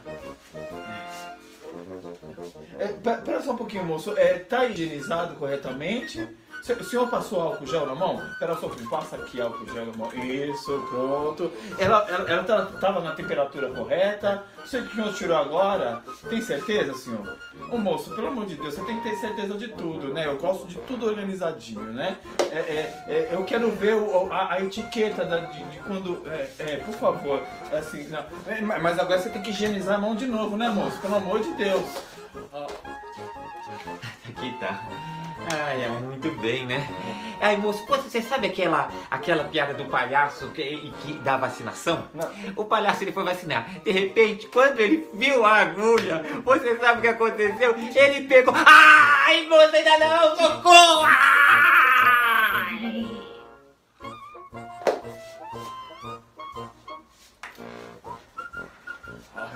Ai, moço, peraí, se doer, você vai ver só, hein? Eba! Chegou a minha vez de vacinar! Agora sim! Ah, quer saber de uma coisa? Eu, depois que vacinar, eu vou tomar, eu vou tomar uma cerveja, moço. Posso tomar uma cerveja pra comemorar? Escuta, é, é, pode tomar é, cerveja antes, é, depois que, que toma vacina? Não? Ah, então eu vou comemorar primeiro, depois eu volto. Deixa eu comemorar! Opa? Moço, qual que é essa vacina? É, é- é- é aquela importada? É, a importada tem que ser melhor, né? Ela veio da Europa? Né? E, e quanto que custa? É de graça? Não, mas de graça não, imagina. Coisa de graça não funciona muito não. Né? Eu gosto de pagar. É, me fala quanto que é o preço. Ah, moço, você sabe aplicar direito? Você tem certeza? Você não quer que eu aplique no senhor? Ah, senta aqui, querido. Senta aqui. Vai, Pode sentar aqui. Pode deixar, moço. Eu aplico em você, tá bom? Ah, eu sei. Ai, moço, é, é, é, é- é aqui que é a vacina? A minha carteirinha. Ai, mas, mas sabe, moço, eu, eu tô um pouco preocupado. É que essa, essa vacina, será que não tem problema não? Porque eu, eu sofro de epilepsia, eu sou diabético, sabe? Ah, eu também tenho, tenho depressão, eu sou alérgico a glúten. Ah, e a lactose também, moço, não tem problema, não, não vai dar reação. Será que vale a pena?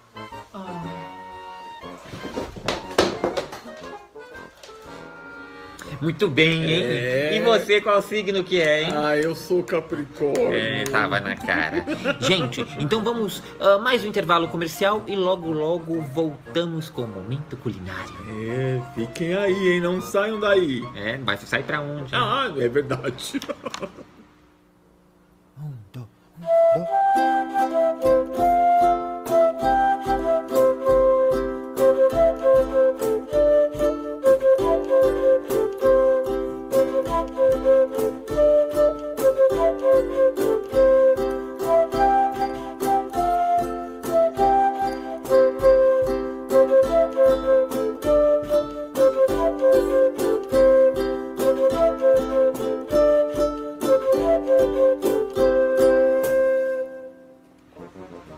Vamos agora ao momento culinário. Vai daí, Pepirelha. Sou eu mesmo.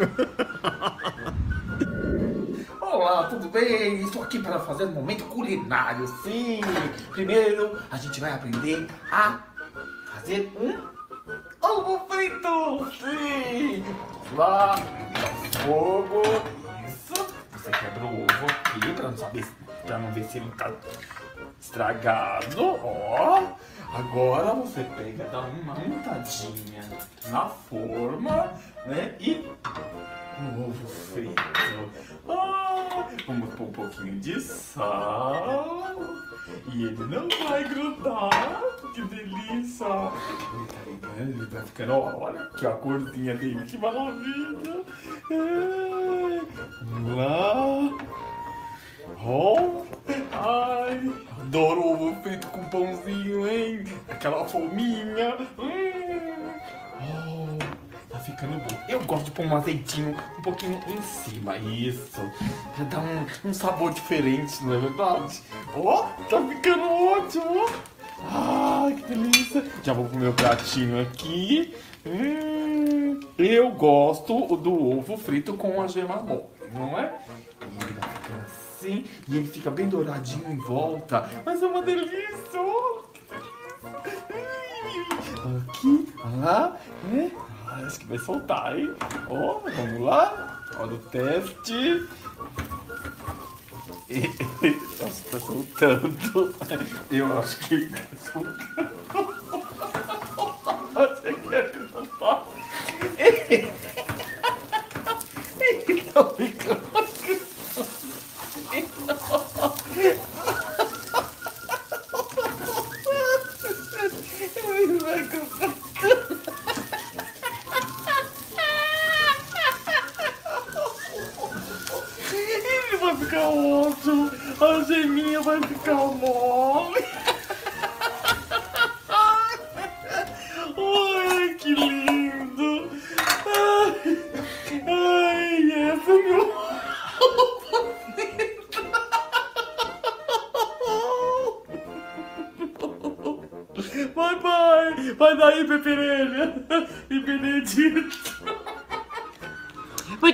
estamos de volta com a previsão do tempo. Vamos lá. É, hoje, se não chover, poderá fazer muito sol. Oh, que É, beleza. caso chova, não se esqueça do guarda-chuva. E se resolver sair e parar de chover, se lembre de novo do guarda-chuva, porque a gente sempre esquece o guarda-chuva, né? A É gente isso. sai, para de chover e esquece o Já guarda-chuva. esqueci no ônibus, já esqueci no Uber, já esqueci em tudo que é lugar. É, e tem mais uma coisa. Previsão do tempo está dizendo que se não esfriar, poderá fazer calor. É, verdade. Anda sempre com uma blusinha dentro da bolsa. E se não fizer calor, se prepare para o frio. É. É verdade. Anda com cachecol na bolsa. Exatamente. É, de noite, o sol ficará, é, ficará longe, se porá, e, e aí a gente vai ficar no escuro. Portanto, tenha sempre o interruptor perto de você. É, e põe um cobertorzinho na bolsa. É verdade. Bom, gente, agora sério. Na verdade, o que sabemos é que passamos por tempos sombrios. A tempestade custa passar, mas se nos mantivermos resignados e respeitarmos as recomendações da ciência, Sim. seguindo utilizando máscara, respeitando o isolamento social e lavando sempre as mãos, logo, logo o sol brilhará de novo e poderemos nos encontrar com quem nos amamos e festejar os novos tempos. É, de acordo com a ciência e com a consciência. É, né? ciência e consciência. Vamos lá. Quem sabe teremos tempos melhores, né? Ah, É, mas estamos teremos. esperando. E agora, para encerrar, fiquem com a dica de saúde. É, a dica de saúde, mas não era para ser com Drauzio Va, Va, Drauzio Valéria. Valera, Valera, Valera, Varela. Drauzio É, Varela. Não, não, sim. não é com o Drauzio Varela. É. Diz que é. Não, não, É diz que. o ministro da saúde? Não, é comigo mesmo. Ah, pois é, A verba tá né, curta. você virou ministro da saúde? Não, não, não, não, Ah. não. Eu não quero cair, eu não quero cair. É verdade. Muito bem. É, é comigo. Eu vou dar uma dica de atividade física. Fiquem de olho. Ah, É com você, Benedito. Olha aí. Que sou eu mesmo. quero ver, hein? É que sou eu mesmo. A verba tá curta. Tá indicado, não tem jeito. Segue daí, Benedito. Ai, ai, nessa pandemia é, é muito importante a gente se manter fazendo atividade física. Uf, alongamento é muito bom. Ai, ih, é, é, peraí, a campainha. O, o, o iFood chegou. Peraí. Muito obrigado pela audiência, senhoras e senhores. Sim, vocês que estavam aí até agora, que não tiveram o que assistir e tiveram que assistir a gente. É, a gente pede desculpa. É, muito obrigado pela audiência, né? Muito bem. E pela persistência. É, fiquemos agora então com o encerramento musical. Uma Oh. música especial feita pra vocês. É. E se cuidem, hein? É, um beijo. Se for sair na rua. Não, pra- beijo, não, distanciamento. Beijo, Ah, não. é, Be- be- beijo, não, beijo beijo, depois. online. Não, beijo online. Beijo online. Ah. Beijo on. É, É, muito bem. agora on. Logo mais estaremos juntos e misturados, celebrando a vida, a arte e a alegria. Sim, e aguardo vocês por mais um dia. É. Beijo, bye bye. Tchau, tchau. Tchau. Adorei fazer o programa. É, foi bom, Adorei, foi muito bom, foi muito bom.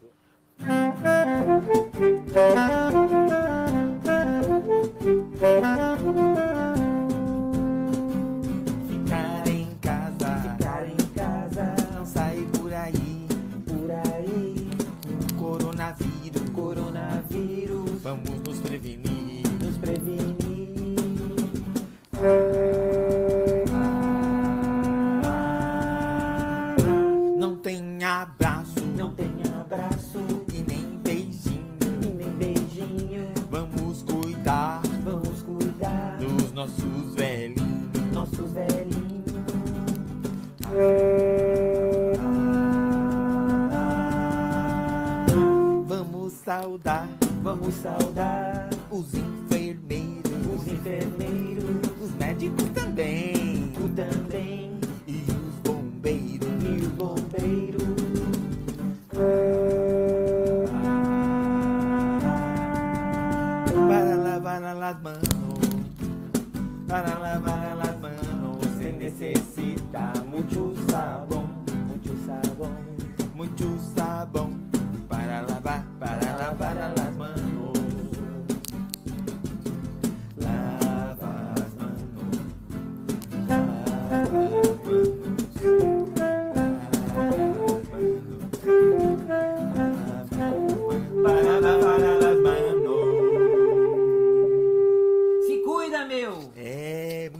Máscara.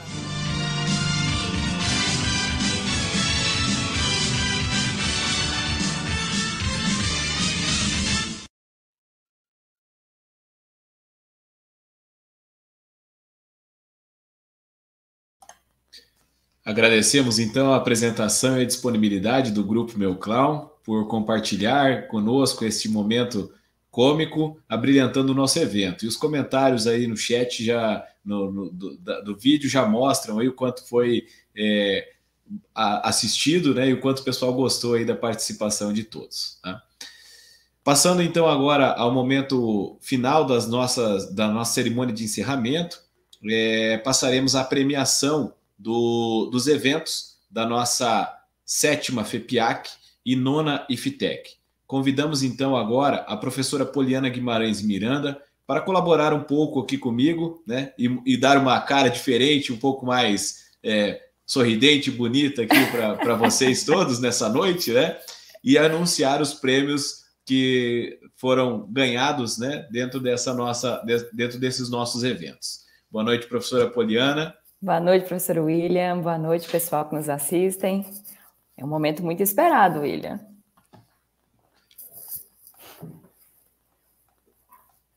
Bom, é, a- as premiações, passaremos agora neste momento a anunciar as premiações da nossa sétima FEPIAC, Feira de Pesquisa e Inovação de Assis Chateaubriand.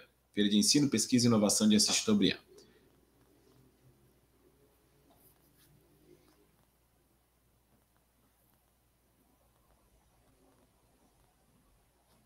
E a professora Poliana fará a apresentação e anunciará a premiação da nona IFTEC.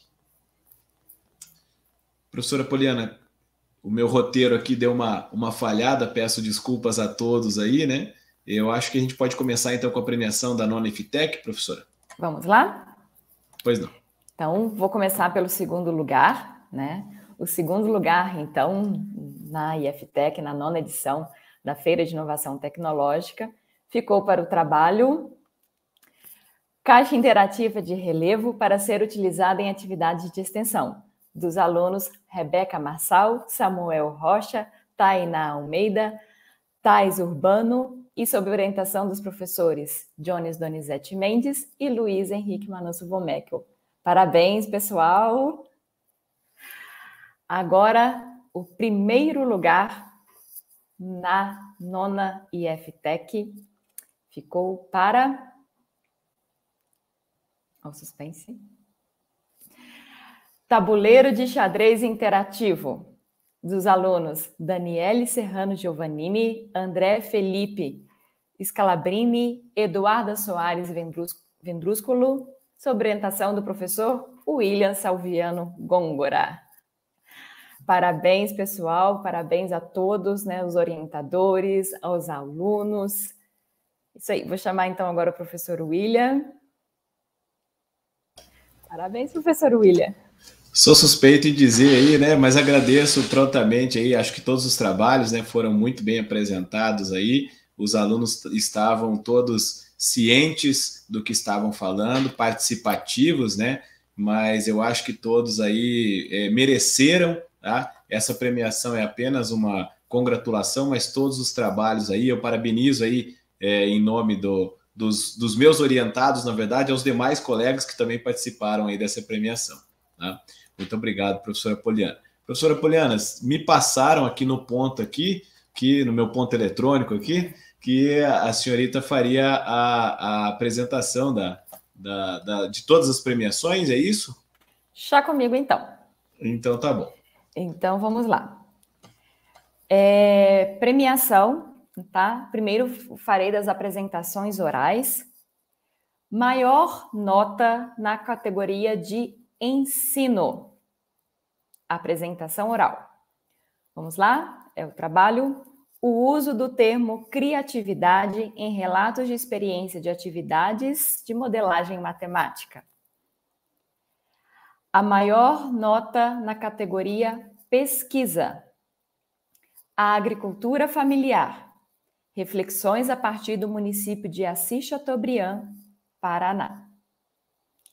Maior nota na categoria extensão. Apresentação oral Qualidade da água utilizada na ordenha.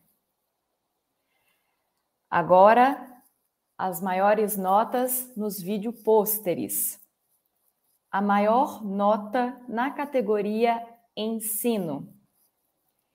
Efeitos da seca e geada na produção do milho safrinha 2021. O vídeo pôster com maior nota na categoria pesquisa.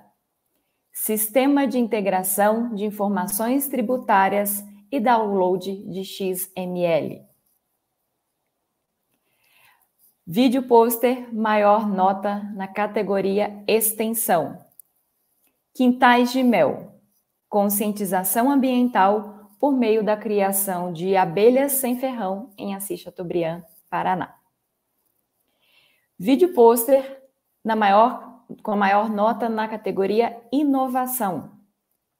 Aplicativo para organizar o acesso à cantina do IFPR.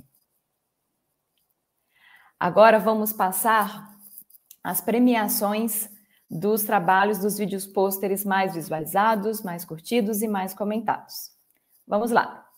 O vídeo pôster mais visualizado cooperativismo e o Objetivo de Desenvolvimento Sustentável, trabalho decente e crescimento econômico. Vídeo pôster mais curtido. Ação de extensão do GeoIF em tempos de pandemia. Vídeo pôster mais comentado. Sensibilização sobre a importância da utilização de resíduos orgânicos para a produção de hortaliças. E também temos a premiação para a maior nota geral do evento. Para o trabalho, Quintais de Mel, conscientização ambiental por meio da criação de abelhas sem ferrão em Assis Chateaubriand, Paraná aos nossos alunos, aos nossos servidores. Parabéns. Parabéns a todos. É, uma salva de palmas aí a todos os que nos assistem, aos premiados, todos foram merecedores e a comissão organizadora preparou um mimo, né? É isso que vocês estão vendo na tela aí, que foi organizado até pelo, foi feito pelos nossos alunos também, né? Envolvidos aqui no laboratório. Então nós fizemos aí um mini troféu da FEPIAC né, e do IFTEC também, todos serão premiados aí, os primeiros lugares aí pelo menos. E esse mini troféu, naquela ideia de é, modelos de utilidade, né? Eu tenho o, o, modelo aqui, ele será, inclusive, né, nesse momento de pandemia e de isolamento, além de ser um troféu que traz a inscrição da FEPIAC, nós vamos é, colocar a, a, premiação a que se refere, né? Ele ainda serve como um porta-celular aí para a pessoa participar das videochamadas aí e assistir às aulas né, online ou os atendimentos dos professores, né? Certo, muito obrigado, muito obrigado, professora Poliana. Parabéns a todos os envolvidos, parabéns à nossa equipe organizadora e também um agradecimento especial a todos que foram os é, avaliadores dos trabalhos, né? Contando aí com a participação dos muitos professores que nós temos aqui no campus, fazendo a apreciação dos trabalhos, perguntando aos alunos, interagindo com eles e mostrando aí a importância da pesquisa e extensão no campus Assis Chateaubriand. Até breve, pessoal.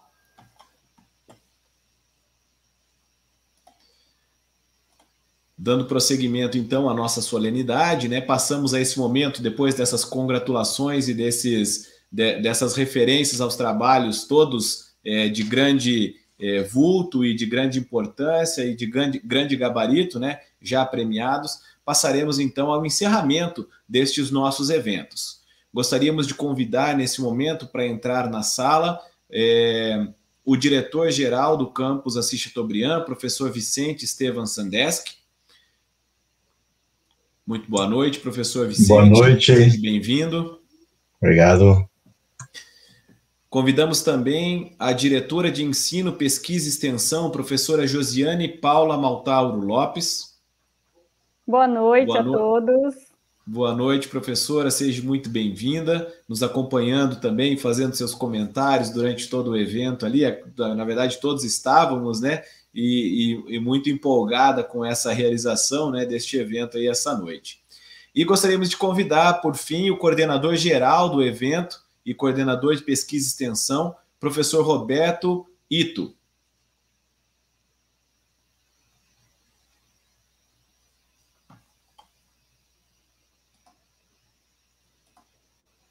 Boa noite a todos. Boa noite, professor Ito, seja bem-vindo aí. Muito obrigado. Então, neste momento, para o encerramento solene dessa nossa sessão e do evento, dos eventos, né, que foram executados durante essa semana, gostaríamos de passar a palavra ao coordenador geral do evento e também coordenador de pesquisa e extensão, professor Roberto Ito, para o seu discurso.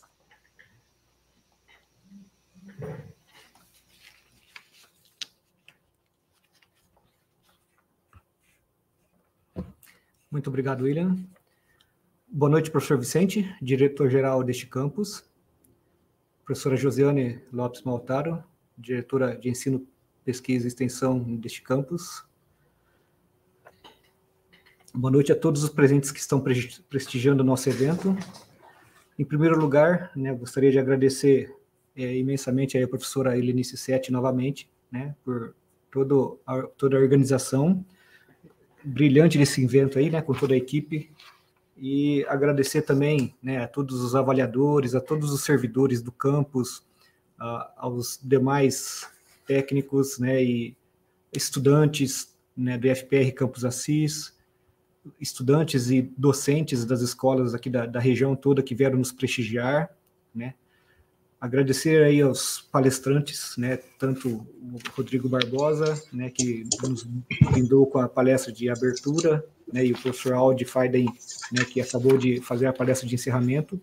Agradecemos por toda né, sua dedicação, disponibilidade, né, e abrilhantar aí nosso evento.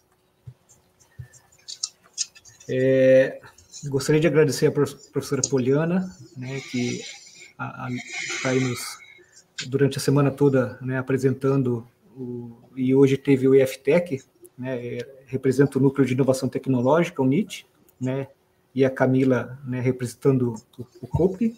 Agradeço os demais membros do COPE né, e toda a comissão. É, então, a, agradecer ao professor Vicente né, e a professora Josiane por é, nos ceder o espaço, estar tá sempre apoiando a gente, né, dando todo o suporte necessário, né? Nós ficamos muito felizes e né, muito obrigado por isso. Ah, também agradecer aí as, as apresentações né, musicais né, que a professora Josiane né, nos brindou e trouxe aí, né, dos corais Encanto Sul e Coral Cicobi Meridional Toledo, né, regida pela professora Rosângela Clivati, do Espaço Musical em Toledo, e também pela apresentação teatral que acabamos de ver aí do grupo Meu Clown, né, com o professor Marcelo Clarito, né, então muito obrigado, professora Josiane, por isso, agradeço a, a eles também, né, foi muito bom né, assistir isso daí, né, parte cultural. Agradecer ao professor Alex Mussi, nosso coordenador de ensino, né, também sempre apoiando e dando todo o suporte, né, então, é, como o professor William nos mostrou agora há pouco, né? Agradecemos ao professor William Gongora e, e ao professor Renato, né, que nos eles confeccionaram esses prêmios que são suporte de celulares aí para a premiação de hoje, né? Então, impresso aqui pelos nossos estudantes, né, do IFPR, né, ficaram aí esses dias todos né, trabalhando. Né, então, vai ser um prêmio né, realizado pelos nossos estudantes né, aqui no nosso campus, campus, desculpa. E agradecer, né, principalmente os nossos estudantes né, do campus Assis Chateaubriand, que foram as estrelas do, do, desse evento e nos brinda, brindaram com esses excelentes trabalhos, né, e, e para quem acompanhou esses três dias, né, nós, nós tivemos a oportunidade de ver diversos, diversos temas, né, de ensino, pesquisa, extensão, inovação, e um nível de conhecimento, de qualidade, né, de produção, né, de excelência, e nós estamos muito orgulhosos né, e felizes né, pelo nível de apresentação que vocês trouxeram aqui. Né, e, e, tenho certeza que serviram de fonte de inspiração e modelo né, para esses nossos estudantes que ainda não apresentaram, mas tenho certeza que né, na nossa próxima edição estarão aqui também né, com seus protótipos, com seus projetos de ensino, pesquisa, extensão, inovação. Né, já vão procurar aí, quem não tem ainda, né, nós temos todos os docentes e técnicos aí que é, estamos aí para né, poder auxiliá-los e participarem junto, né, para a gente crescer né, como uma equipe e fazer um, um agradecimento especial né, a esse nossa comissão né, de organizadora do evento, porque trabalharam incansavelmente por vários meses, né, desde o seu planejamento até chegar né, o dia de hoje aqui, né, fins de semana, né, e até madrugadas, né, então deixando seus afazeres de lado, dedicando de corpo e alma, né, a, chegar, né, um resultado final dessa feira. Então eu fico muito orgulhoso de, de, de fazer parte dessa equipe, né, e gostaria aqui de nominar, né, essa comissão, né, pela, começando pela professora, professora Helenice Sete, né, os professores Poliana Guimarães Miranda, a Camila Lampugnani, Alex Mussi, a Tana Neufeld, Celina Gomes, Eduardo Philipsen, Rafael Bartz, Guilherme Pels, Jones Mendes, Luiz Henrique Von Melken, né, e o Mauro Siena. Dizer que foi uma honra trabalhar com essa maravilhosa equipe, né, que não mediram esforços para a realização desse evento. Né? Então, de coração, muito obrigado né, a essa equipe aí. E um agradecimento especial também ao professor Darlon Vazata, que é do campus do, de Cascavel, que aí deixou muitos fins de semana, trabalhou bastante ajudando a gente aí com né, é, em todos os trabalhos que, que fizemos, né? Então, um agradecimento especial a ele. Tá? E por fim, né, esperamos que todos vocês tenham gostado desse evento e que ano que vem, né, na nossa próxima edição, né, participem também com mais trabalhos, que aí, diferentemente desse ano, né, será presencial, né, se não tiver nada, nenhum percalço aí, né, que a gente não pode prever, mas esperamos que seja né, presencial, então fica muito mais agradável, né, e conversar ali com os apresentadores, vendo vídeo, vendo os pôsteres, desculpa, né, que nesses dois anos a gente fez na, na forma remota, né, então os mais os estudantes mais velhos aí né, participavam antes, sabem como que é, e os mais novos não tiveram essa oportunidade ainda. Então, convidamos a todos para participarem em 2022 né, do nosso próximo evento aí. Muito obrigado a todos né, e uma boa noite.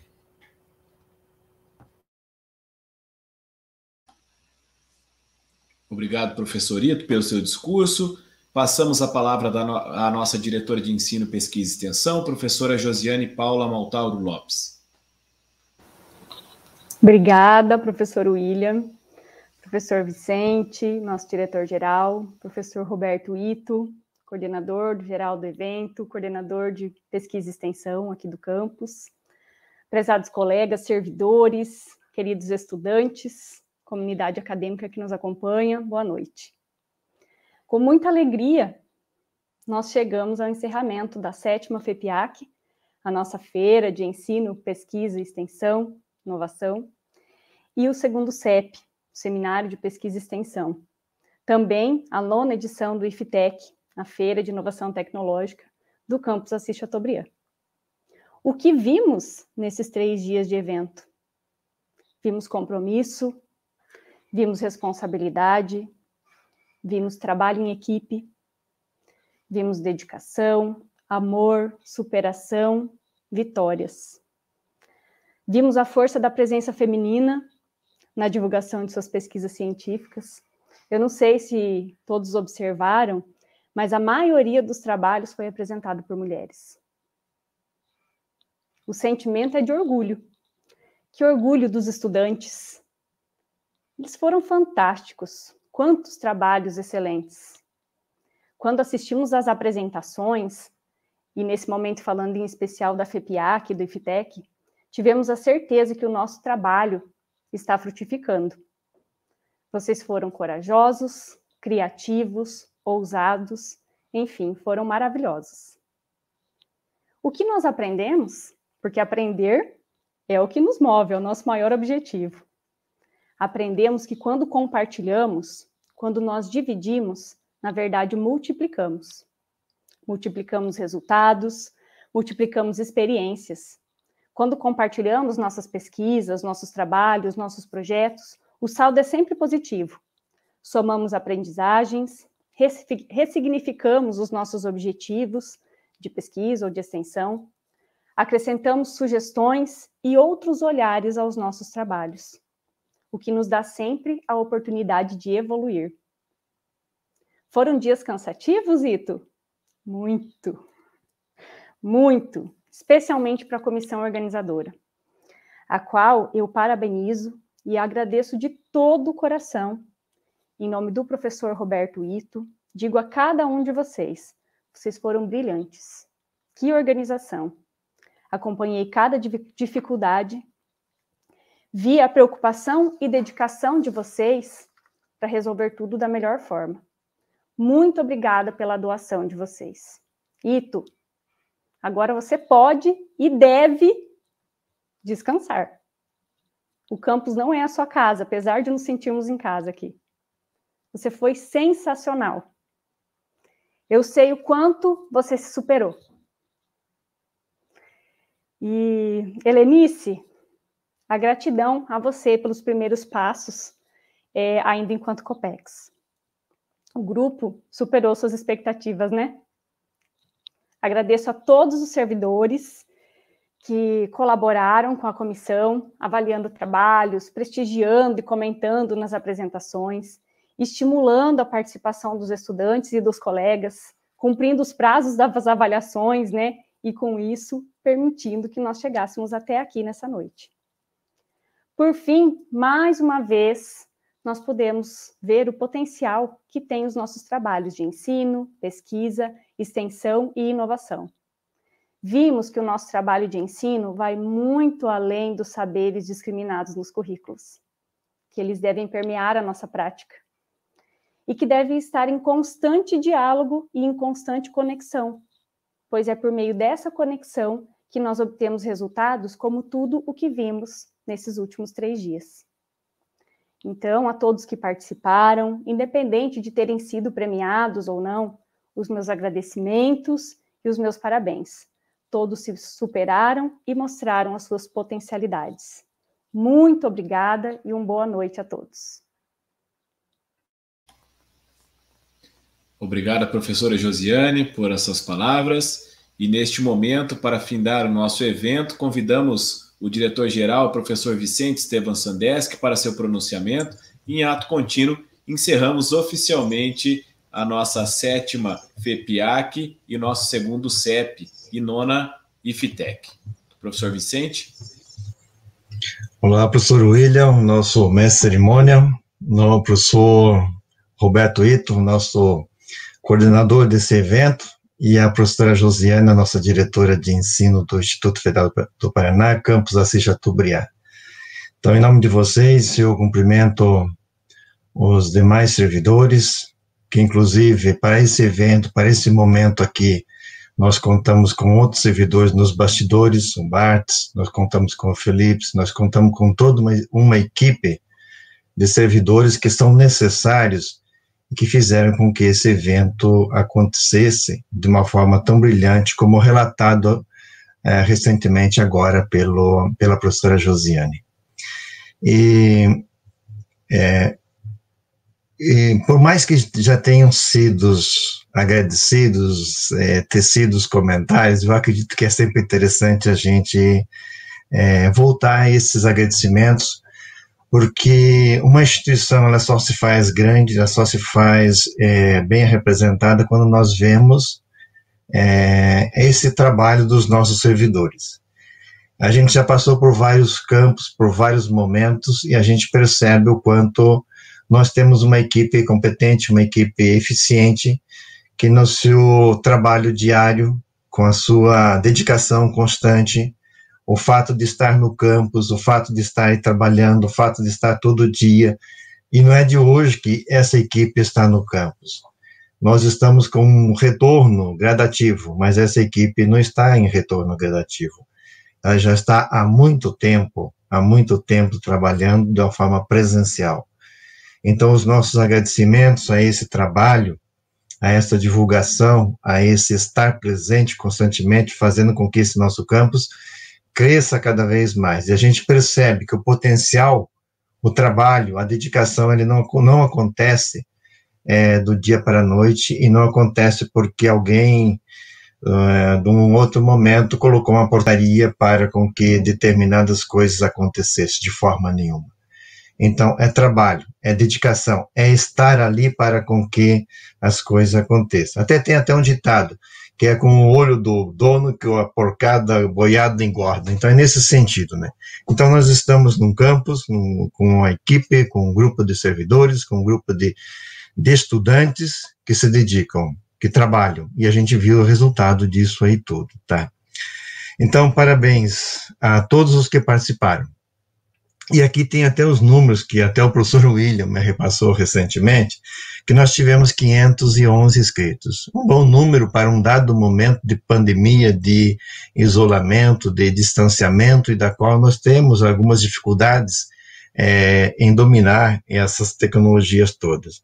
422 estudantes, e isso é importante é, identificar, são estudantes quando nós vemos que um dos grandes pilares da educação, do ensino, da pesquisa, é movido e é feito por esses estudantes.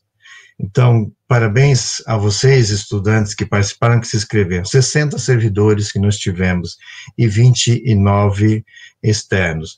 E nós tivemos é, 91 trabalhos é, submetidos, 65 na FEPIAP, FEPIAC, 20 no CEP, 6 no IFTEC, 12 premiações.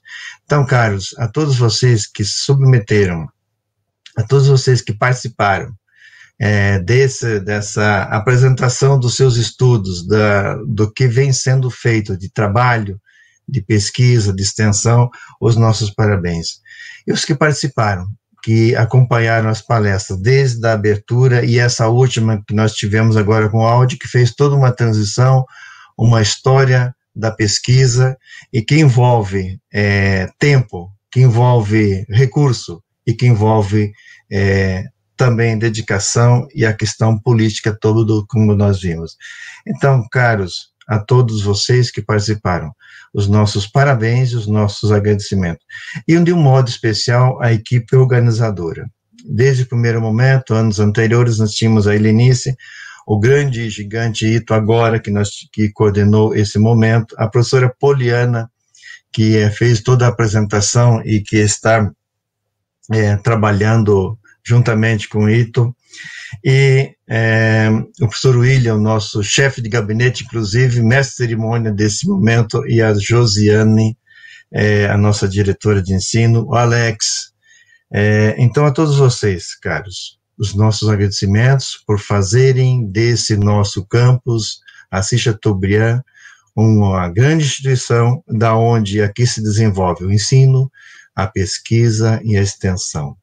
E esse momento, como muito bem mencionado pela professora Josi na abertura desse evento, não era o momento de nós matarmos aula, de forma nenhuma. É um dos nossos tripé do, do ensino, é um dos nossos é, fundamentos para com que aconteça. E como eu falei desde a abertura, no, na abertura, nenhum país se desenvolve se não estiver envolvido em pesquisa.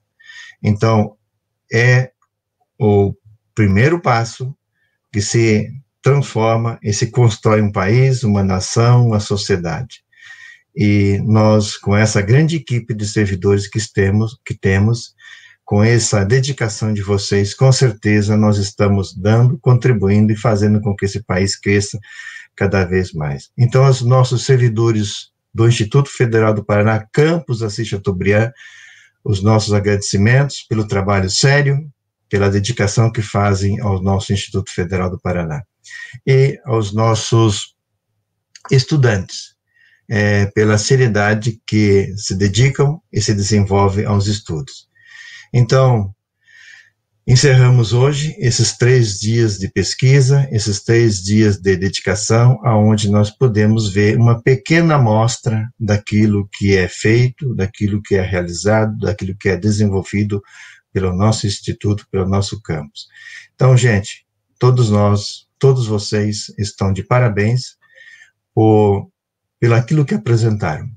E esses nossos três representantes hoje, representantes de todo o nosso Instituto Federal do Paraná, os nossos agradecimentos, assim como a Poliana, que recentemente apresentou as premiações todos e acompanhou todos os momentos, e os demais que estiveram realizando e aqui nos bastidores para com que esse evento acontecesse. Bart, Felipe e os demais, os nossos agradecimentos. Então, uma boa noite a todos, um bom final de semana e os nossos agradecimentos por fazerem parte dessa instituição.